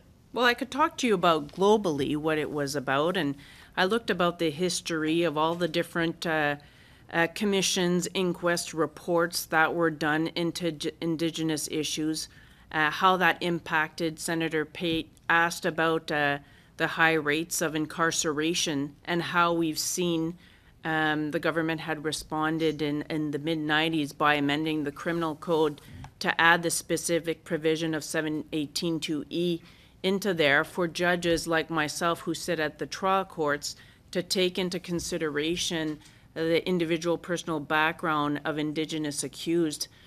And then the question was um, can we apply that in a different context, looking at um, the forensic mental health system? And specifically in Ontario, there was a Court of Appeal decision called Sims that talked about the fact that, and this was someone who was um, found not criminally responsible due to mental illness. He was Indigenous, and I think he was um, of Cree background.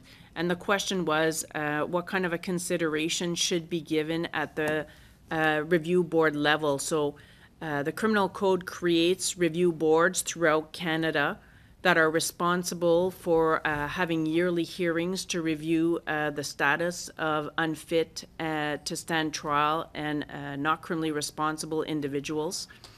And the court had said clearly, and again in the last year with a more recent decision, that there should be a, an understanding by the review boards of these principles. It's not mandatory under the provisions of the criminal code, but it is very important uh, for it to be in consideration. And I had looked at um, just the case law and did an analysis with regards to uh, what had occurred in uh, the last years. I think SIM came out in 2006, and it was looked to see were they considered uh, the pl- principles and uh, what did they do with it when they were looking? Because they look at what kind of conditions are imposed to the person. Um, are they still a, a, a, risk to society? Should they um, be in the system or not? So it's it's a whole multitude of considerations. Thank you. I, I have little time left, but I appreciate you expanding on that for us and wish you every success in your as you move forward. Thank you very much. Thank you, Ms. Uh, Ms. Findlay. Uh, on va rester en ligne pour le moment et passer la parole à la sénatrice Yvonne Boyer.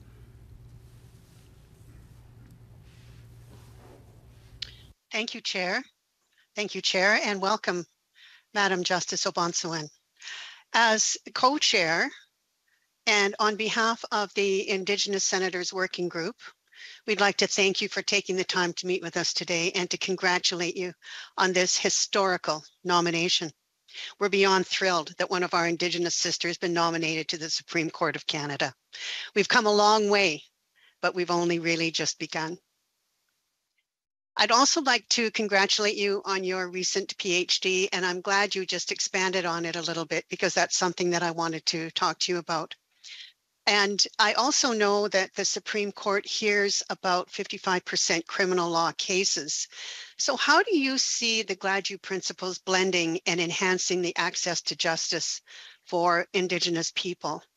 And how can the Supreme Court influence the lower courts to implement these important principles?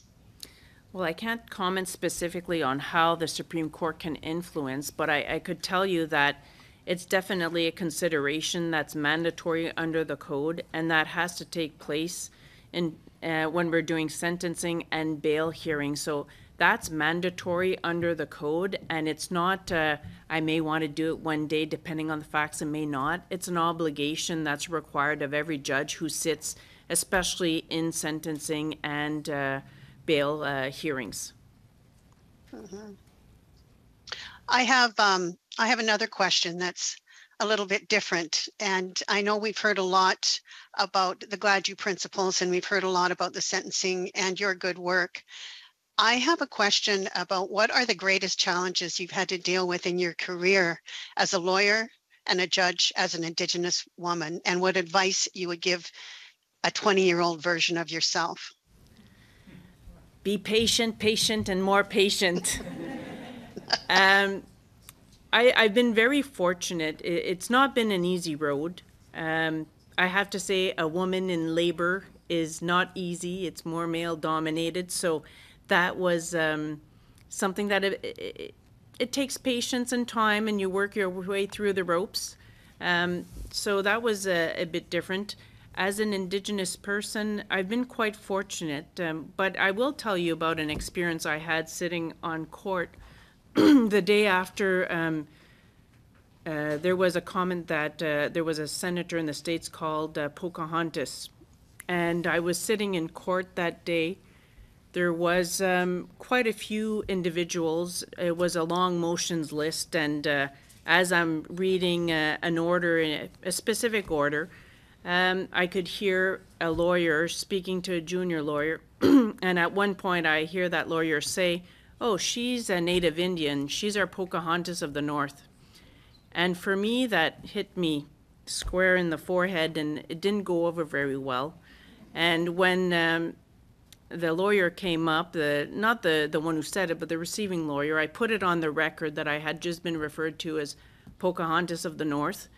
And um, I took that back home to my two sons and I said, you know, this is a teaching moment because at the end of the day, it doesn't matter where we are in society, we all face issues. And what's important is how you deal with it and how do you have to speak out when that happens. And I was happy that I put it on the record. And then afterwards, I, I dealt with it in other ways. But I think um, how we, when these types of situations and discrimination happen to us, we have to respond and we have to make sure that we're vocal and tell them that it's not right because otherwise it just continues.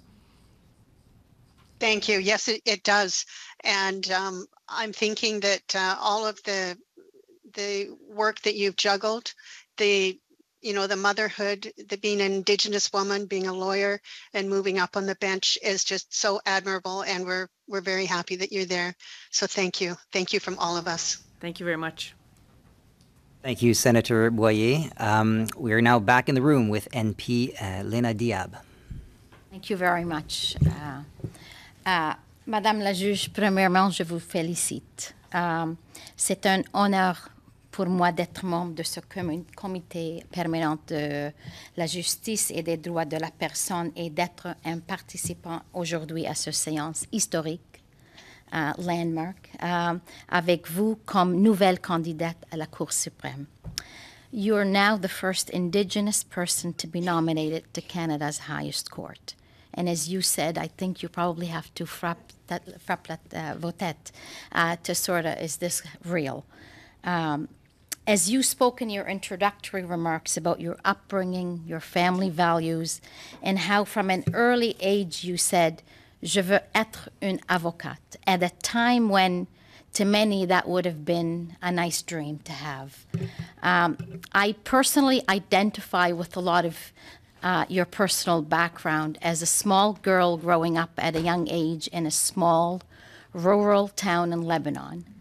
Uh, at the age of seven, eight, and nine, I would often get asked, What do you want to be? And I always said, I want to be a lawyer, not knowing what a lawyer was, but it was sounded good at the time. And okay. Um, moving back to Nova Scotia at the age of 11, having to have to learn in, in uh, English, uh, being the oldest of six, needing to, to always show that, you know, I can do it and determination, uh, and getting my education, going to law school, being admitted to the bar, at the same time having three children. So I identify with your ethics, with your family, with uh, your motherhood. I say to you the following question What can you do now, ha- being in the position you are going to be in, um, where so many people are looking at you and are proud of your achievements and are looking at themselves when they were young or are looking at young little girls that aspire to be anywhere near that. What can you do in your position to give them hope and to give them encouragement? I think it's to do the best job as I can because if I have success, I think others have success. And um, it's to work hard, to remain humble.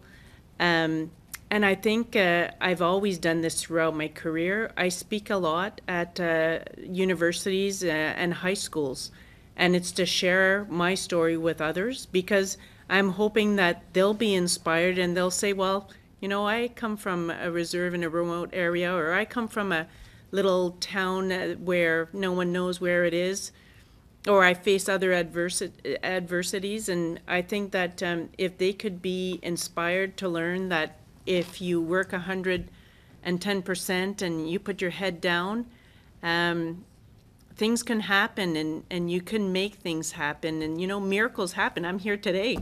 I was a long shot, so. I have to say thank you for sharing a little bit at the end about your personal life. I didn't research you as much as others. I didn't know if you had any children.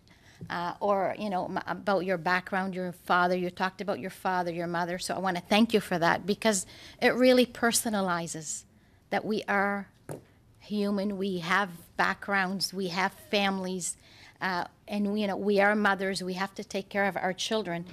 Um, question for you. When you retire years down the road it's okay. I said I'm 48, right? I know, and and that's okay, but we have to work our way towards that. Uh, what would you like your legacy to be in the at the Supreme Court, and what else in the many years to come can we uh, see, uh, Madame Michelle O'Bonsawin? Uh, what can we hear? I hope that they'll say I'm a hard worker, I'm approachable, I'm sympathetic, and I'm a good listener. And hopefully they'll say I make sound decisions. Merci, Madame, eh, Madame la juge, and we look forward to reading those decisions. Merci. Thank you very much, uh, Ms. Diab. I now turn the floor to Senator Brent Cotter. Thank you, Dean Roussy, and congratulations, Justice O'Bonsawin, on your nomination to the Supreme Court. In the communities where I hang around, particularly in the world of legal education, your nomination is being celebrated. I should also say, parenthetically, and I hope not too flippantly, it's nice to have another left-handed judge on the Supreme Court of Canada. Um, My question uh, is a fairly serious one, and it relates to reconciliation uh, broadly conceived, and I realize that Dean Roussy may rule me out of order at some point. Um, A story first. Uh, I taught on a number of occasions in the summer program uh, at the Indigenous Law Center at the University of Saskatchewan Law School. Visitors used to come and give lunchtime talks to soon-to-become law students. On one occasion, an Indigenous lawyer came and spoke about what it would be like for them when they started law school, and he used land law as an example. He said that many people of Indigenous ancestry think about land in traditional ways, as we've heard. First, that land is fungible, that is, one piece of land is the same as any other, and that land is inalienable, that is, it's not capable of being bought or sold. But he said, when you students come to law school, you will learn that European traditions of land law are not just different, but the opposite. That is, each piece of land is unique. And secondly, that most of it is alienable. That is, it can be bought and sold. This was an insightful moment for me, a 30 some year old white guy who hadn't understood much of this at all. But it's a small example of the challenge of reconciling, reconciling indigenous conceptions of law with those of the more conventional European conceptions. And I'm not asking you to answer the land law question, and they're not even questions just for you, but also for legislators and the like.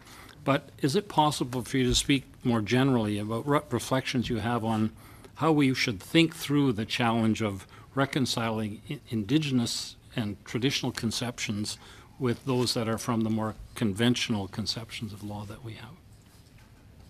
It's a bit difficult to, to answer because this is definitely a question that comes uh, or will go to the Supreme Court of Canada. And in our language, uh, land is Nakina, and and we all come from it, and uh, we cherish it, and it has much value in our culture.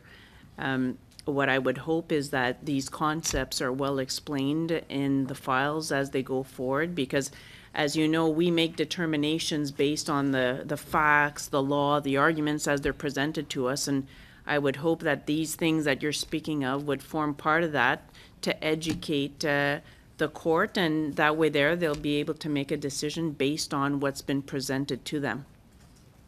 Thanks. I have a second question that's related to education. You mentioned that communication was important particularly in fulfilling the aspirations of the Truth and Reconciliation calls to action. Uh, and in that context, um, two of the calls to action call for law students in a mandatory way to be educated in Indigenous traditions and laws. Similarly, lawyers, but not judges. There's not a recommendation that calls for judges to go down that road.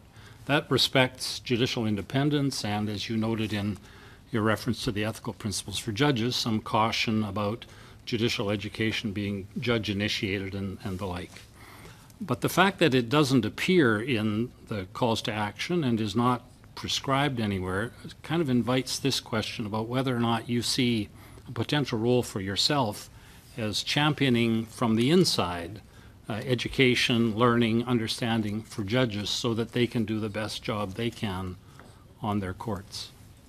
If you look at my application, I, I've done that since I joined the court in 2017 because for me, education is the key. And I'm always talking about Gladue principles, about Indigenous issues. And um, I think it's essential, and I, I've done that in the past. And my hope is to continue talking about how Indigenous issues, uh, for example, with Gladue principles, how it's important that they're properly applied uh, at the trial level because those are key and these impact our incarceration rates. So Thanks very much, and congratulations again. thank you. Thank you, Senator Cotter. Um, we're going back online to MP Larry Brock. Thank you, Chair. And uh, Madam Justice O'Bonsawin, it is my distinct honor and privilege to congratulate you on this marvelous achievement. Uh, my riding is from Brantford Brant in Ontario, uh, also home of the largest population-wise of the largest Indigenous uh, uh, nation in Canada, that being Six Nations of the Grand Rivers. So on behalf of the Six Nations and my riding, we sincerely congratulate you. Thank you. In my former career as a Crown attorney, I had the distinct honor and privilege to actively participate in prosecutions in Indigenous People's Court. I did that for a number of years, and I know that you've made reference uh, to that Indigenous uh, People's Court in your home jurisdiction uh, prior to your appointment. And I know that from time to time we hear various courts across this great country also speak about their efforts to resurrect Indigenous peoples' courts. So I'd like to hear your thoughts on mandating that uh, from a judicial perspective, what you think about mandating that every province should have Indigenous peoples' courts. I'd like your thoughts on that. And secondly, ways to improve the participation in that courts outside of the traditional format where a person can only attend that court where they want to accept responsibility and expanding that to the trial division and even expanding that into civil and family court. Thank you. Thank you for your question, Mr. Brock, uh, undoubtedly, um, Madam Justice will be uh, limited in her comments, but perhaps she can offer some, some general comments on the issues that you raised. So with regards to mandating it, unfortunately, I can't provide uh, much opinion with regard to that. That's definitely uh, a legislative and social more aspect, uh, not for someone in my position to opine on. Uh, about who should be involved in, in those, because I haven't uh, worked extensively uh, with the, the Indigenous Peoples Court, and it's um, not in my purview. I can't provide you much more information uh, by way of an answer with regard to that. I'm sorry. Okay. You spoke in one of your responses to one of my colleagues regarding your thoughts on the, the access to justice being greatly improved as a result of a byproduct of the pandemic. But there's also a negative aspect that I want to explore with you. Uh, with the reduction in access to legal aid in many parts of Canada, there has been an increase in the evidence, sorry, incidence of unrepresented accused and litigants before the court. What, if any, concerns do you have regarding that development? And do you have any thoughts about what could be done?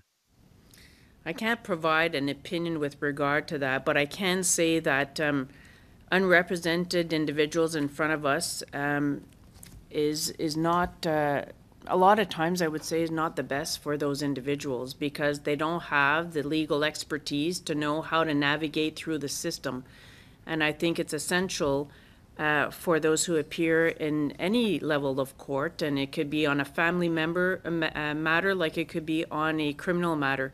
I don't think it makes a difference, but I think that representation, uh, if possible, is definitely uh, beneficial to that individual to understand what his what his or her rights are and how the procedure should move forward. Thank you. In your questionnaire, you stated, quote, I have also seen how different Indigenous perspectives can be from the colonial history of much of the Canadian population, while still recognizing and embracing all our unique perspectives, which are the fabric of our. You also noted a Supreme Court of Canada justice comes with a variety of experiences and expertise that necessarily informs without interfering with their responsibility to be impartial and independent. This is key to all judicial positions, but more importantly to the Supreme Court of Canada. Can you elaborate on those thoughts? And secondly, how should the distinct perspectives and life experiences of justices on the court inform their work given their responsibility to be impartial? I think at the end of the day, our first role is as a, a judge who's impartial, and our backgrounds uh, all inform how uh, we live and how we uh, perceive things. And I don't think we can get a, away from that. But I think that um, it's our obligation to be impartial our backgrounds will sometimes educate our decisions, but I don't think they're the, necessarily the driving force that lead us to fall a certain way on, on matters that are before us. Thank you and congratulations. Thank you. Thank you, uh, Mr. Brock. Um, oui, on va rester en ligne un instant. Euh, la parole est à la sénatrice Bernadette Clément. Bonjour, Madame la juge. Sego, hello. I wish I could be in the room with you, uh, but I, I do want to tell you that I'm in my home community of Cornwall and that that is located on the traditional territory of the Mohawk people of Akwesasne. Je vous ai entendu dire dans votre discours d'ouverture, regardez-moi bien aller. Ça témoigne euh, d'une attitude qui vibre et ça témoigne d'une persévérance. Alors, euh, pour cela, je vous remercie et je vous offre toutes mes félicitations ce matin. Euh, et je le dis avec un sourire. J'espère que vous entendez le sourire dans ma voix. Vous ne voyez pas, mais je suis en train de sourire. I have two questions. Uh, one is about um, your work as a legal clinic lawyer. If you could um, explain how your work as a legal clinic lawyer has shaped um, your career in law. And the second question is about being the first. So, being the first is, of course, a place of great honor, but it can be a place of great pressure, a place of vulnerability, especially when you are um, in such a high profile uh, job that that might take you away from your community at times, away from uh, your source of of strength and comfort. So I wonder if you could speak about how how you've managed that. This is not the t- first time that you're the first. So how you navigate uh, your role as a lawyer, your role as a first, which means that there's pressure to be absolutely perfect, but also that you probably have a need to inspire because you want to make sure that you're not the last. So two questions. So I'll start off with uh, your first one with regards to my uh, experience at uh, the University of Ottawa Legal Clinic. So at that time, it's when I was a law student in French common law, where um, I volunteered to uh, work in that clinic. So at the time, it was to, if I remember correctly, um, just to assist uh, individuals who were appearing in first appearance court uh, for remand in provincial criminal court. So it was just to help them prepare for that appearance. Um, with regard to um, my second part of my uh, experience working there, when I was a counsel at Canada Post Corporation, I also worked there uh, at the University of Ottawa, again, legal clinic. I worked there part time as a file reviewer. So I would go in after hours and on weekends to review all the files of the students to ensure that they were properly filling out the paperwork and um, to make sure that they were asking the right questions and looking down uh, the right paths to move forward. So that was really my more limited role with regard to uh, the legal aid clinic at the university. Um, with regard to being a first, I have to admit I'm far from perfect. Um, I, it's not easy always being a first because you're you're under a microscope at times. But um, I've learned that uh, how to go about it is just to be hardworking, uh, do the best that I can with my background and my experience, um, to remain humble, listen well, um, be collegial with others because uh, collegial, sorry, with others because at the end of the day, um, if I if I do uh, get this nomination, uh, it's working with eight other individuals on a day in day out basis, and I think that uh, as you heard, I'm in it for the long haul. So I definitely uh, want to get along and play well with others. So those are the things that uh, I, I will do to make sure that uh, hopefully I'm successful in my role there. And how do I manage the pressure? Well, on weekends, I spend time with my family, I paint, and I play with those dogs. on vous remercie euh, et on va vous regarder aller. Alors, je vous félicite, euh, Madame la juge. Merci beaucoup. Nyawa, thank you. Merci beaucoup, euh, sénatrice Clément. Euh, on revient euh, dans la salle. The next question comes from MP uh, Gary Ananda Sangari. Thank you, uh, moderator. I want to uh, begin by uh, thanking the Independent Advisory Board as well as uh, the Minister of Justice and Attorney General, the Honorable David Lametti, for their hard work in getting us here. I also want to thank the many staff that have been involved in this process uh, for the last several months. I'm delighted to join my colleagues here on this historical day, particularly MPs Battiste and Idlout, uh, and I'm honored to share this moment, uh, this very powerful moment with them uh, as we see this historical first. Madam Justice um, uh, congratulations on your nominations to the Supreme Court of Canada.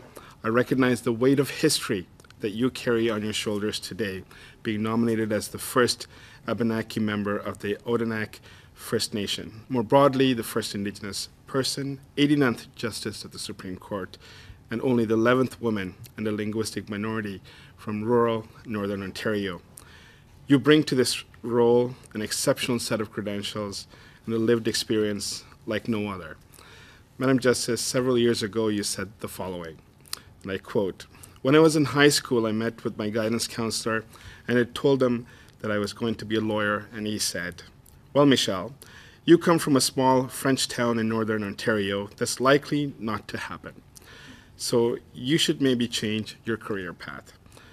And I had decided, no, this is what I'm going to do. Watch me. So, Madam Justice, to this guidance counselor and to all others, to pick on guidance counselor. to all others who guide our children, and to our children who may have doubts about their abilities, what do you want to tell them today?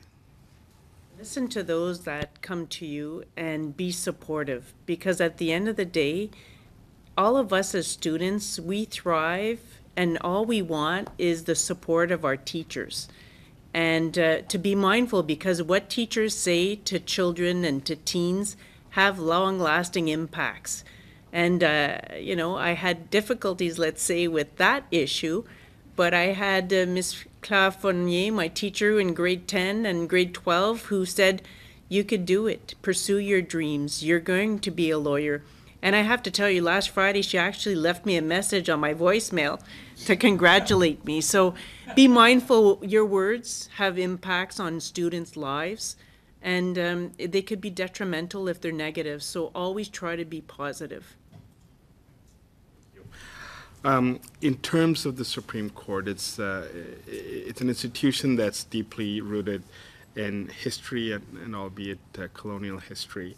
Um, what will you do to um, enact changes within the system? And I'm not talking the process. I'm talking about um, the level of comfort that individual litigants, the access to justice um, that those from particularly underrepresented groups uh, may have. So, what, what would you do? What, how would you leave your mark in the Supreme Court that will essentially allow it to be opened up?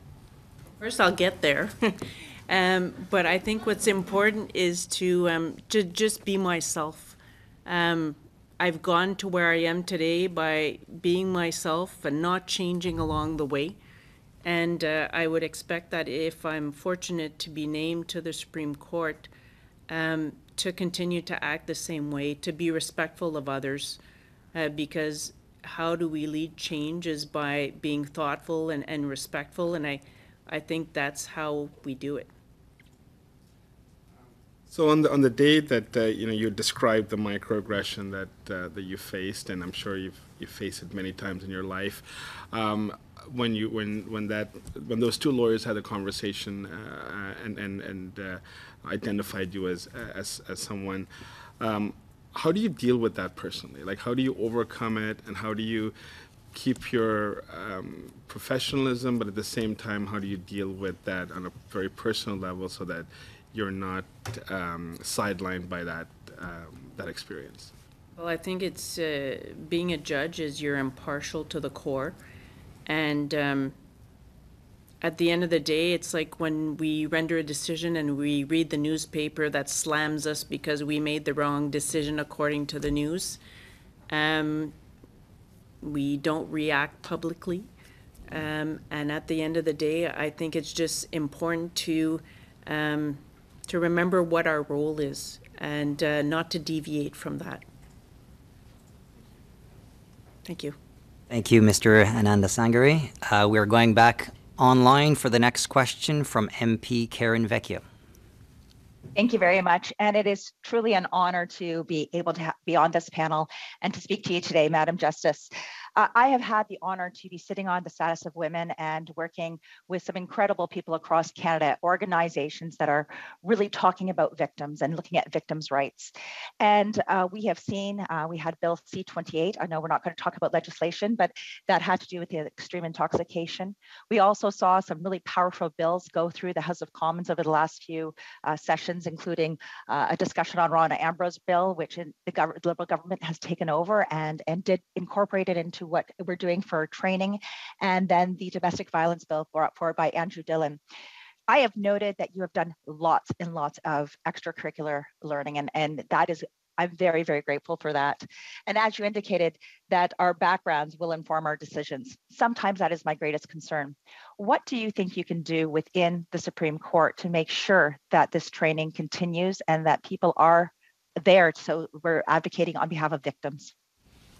Well, I could just say for myself is um, I will continue um, educating people with regards to our uh, our system. And you've heard um, Justice Wagner is a huge promo- proponent of um, education and of uh, talking about what the role of the court, uh, the Supreme Court of Canada is. And I would hope uh, with discussion to have discussions with him to, to continue to, to fulfill that role because um, I'm a, a huge proponent and, and supporter of education to the legal profession, not only to judges, but to lawyers and law students also.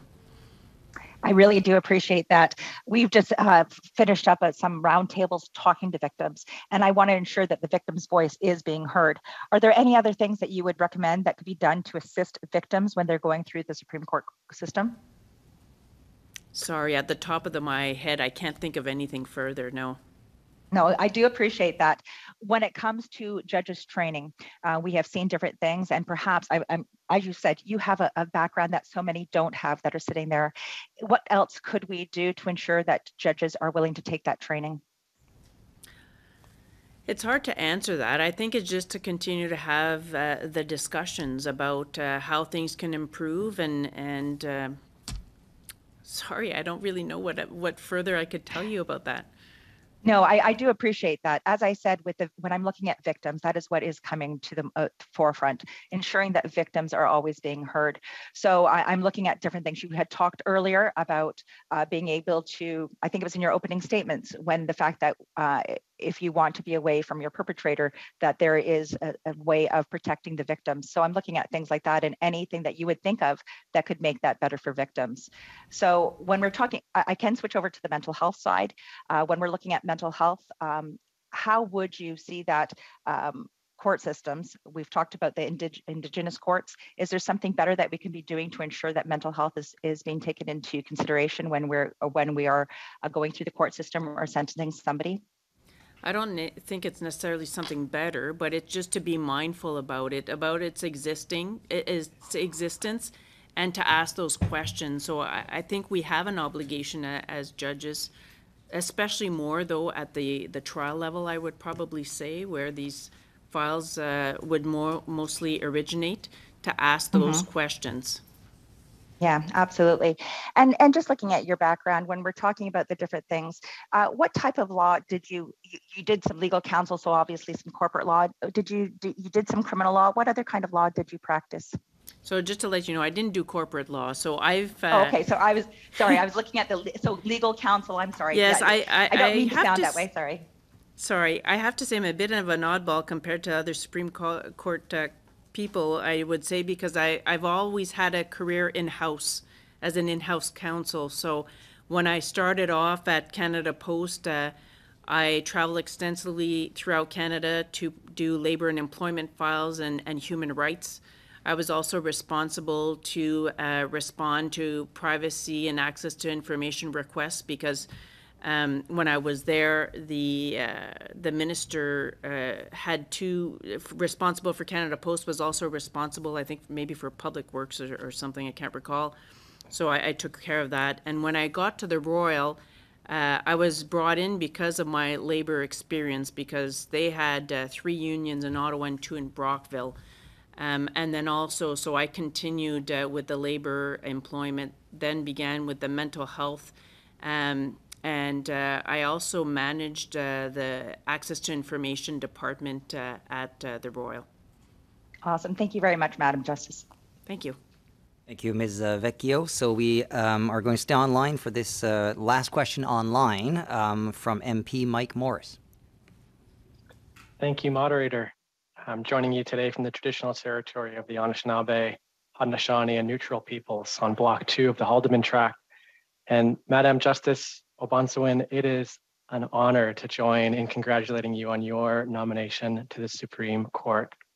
This is truly and deeply historic you spoke in your opening remarks about the different paths that um, folks have come from to the Supreme Court. And I feel like your responses this afternoon, particularly to uh, uh, Senator Pate on the overrepresentation of Indigenous uh, incarcerated women and MP Idlout on Indigenous languages, demonstrates the importance of someone with your voice and your experience and your path uh, being nominated to the Supreme Court. I wonder if you could share a story or a reflection on what you feel needs to be done to ensure that others more quickly follow in your footsteps? Boy, that's a big question. Um, I guess it just uh, if you're asking what I I myself would do is just to continue talking about my journey and sharing with others. So hopefully that they could see a bit of themselves in my journey and say, "Hey, I could do that too." So um, I think it's to continue having discussions and meeting people, and um, I've never shied away from a good conversation with anyone. And my uh, my kids always laugh because when I walk down the streets, I say hello to everyone and I talk to their dogs, and so it's just to continue as I've always been.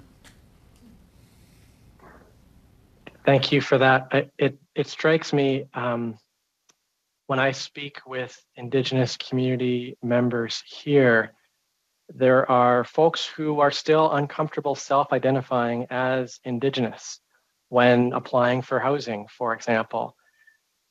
And, and so I contrast that with the significance of the conversation we're in the midst of this afternoon.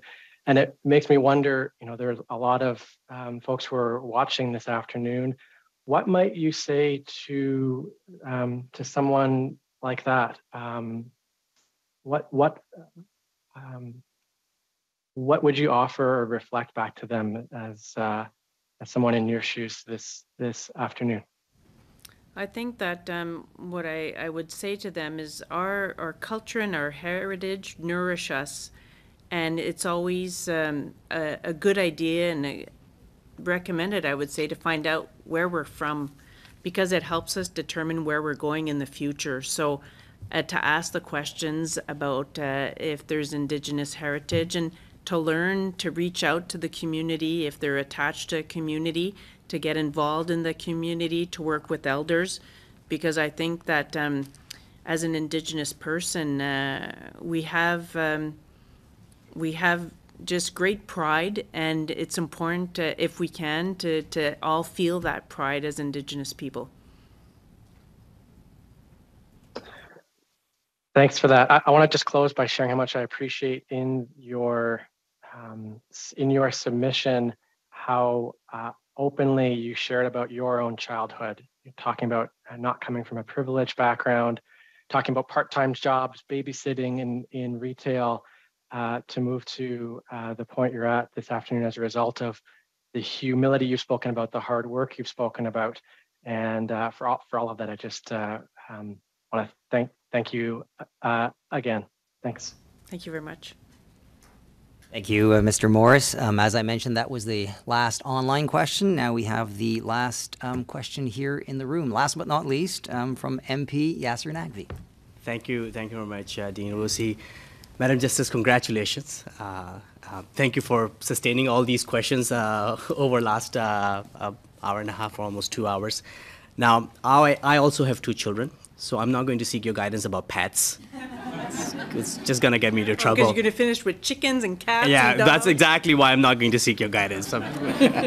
We have one rabbit and we're having difficulty man- managing that. um, but given the the historic nomination, uh, your nomination to, to Supreme Court of Canada, um, I have been having conversations with my children uh, about that. And uh, my 10 year old son's reaction has been, Oh, Canada, it's about time. He seriously said that.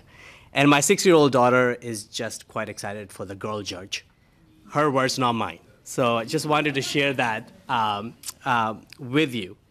But in all seriousness, I do want to ask you, in your view, what does your appointment means for Indigenous peoples and non-Indigenous Canadians uh, moving forward? Well, I, I hope it would um, tell them that, that anything is possible if you put your mind to it, you work 100%. I, sorry, I'm at the risk of repeating what I've said previously, but uh, I hope that it inspires others to, to believe that you can get there and um, to, so, to seek out people that could help them along the way because as I've talked about before, mentorship and even friendships have helped me along the way and made me the person I am today and made me the, the lawyer and the judge I am today. So I've been fortunate uh, throughout my life and my career to have those people and to have a very strong family that supported me and my parents and my grandmother and, and my husband and my kids. So thank you. Um, we've discussed a lot today about obviously Canadian judicial landscape and, and your role as, as a lawyer and, and as, a, as a judge. Um, but Canada plays an important role internationally as well when it comes to promoting rule of law, access to justice, um, independence of judiciary, and Canadian judges uh, play an imp important role in that regards as well. It's my understanding that you have been involved in, in training judges, especially uh, women judges in Afghanistan. Can you share that experience with us? Uh, what did you learn? Um, uh, how do you see that particular aspect uh, as you become uh, a judge of the Supreme Court of Canada um, uh, internationally from, from Canadian perspective?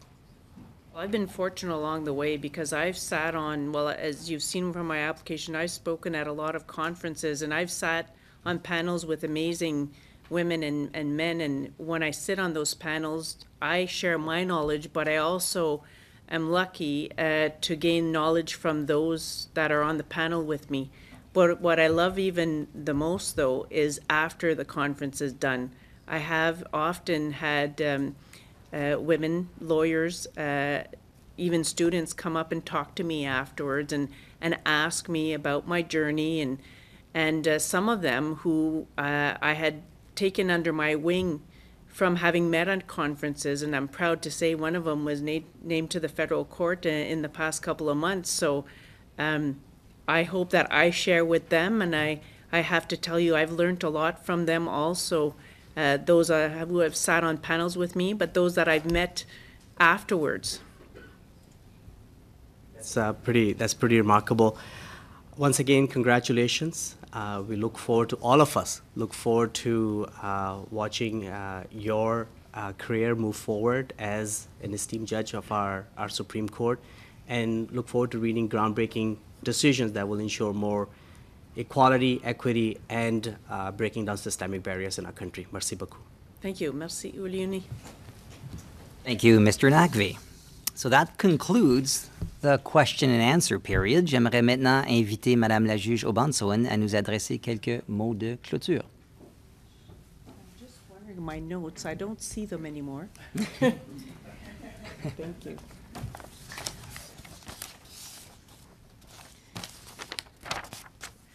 I'll be brief, je serai vraiment. Nadala kimagok nagon sozak adoti melihidit wawadon dam wagan noliuni kawan maziwi awani nodawit. I'm grateful to my ancestors for giving me wisdom today. I thank everyone who took the time to listen to me. Je suis reconnaissante envers mes ancêtres de m'avoir donné la sagesse d'aujourd'hui je remercie à tous ceux et celles qui ont été très patients. Je sais c'est long, mais j'apprécie beaucoup euh, votre euh, que vous étiez ici avec moi et les questions que vous avez me, me demandées. Donc, merci beaucoup, Ulini. Thank you very much.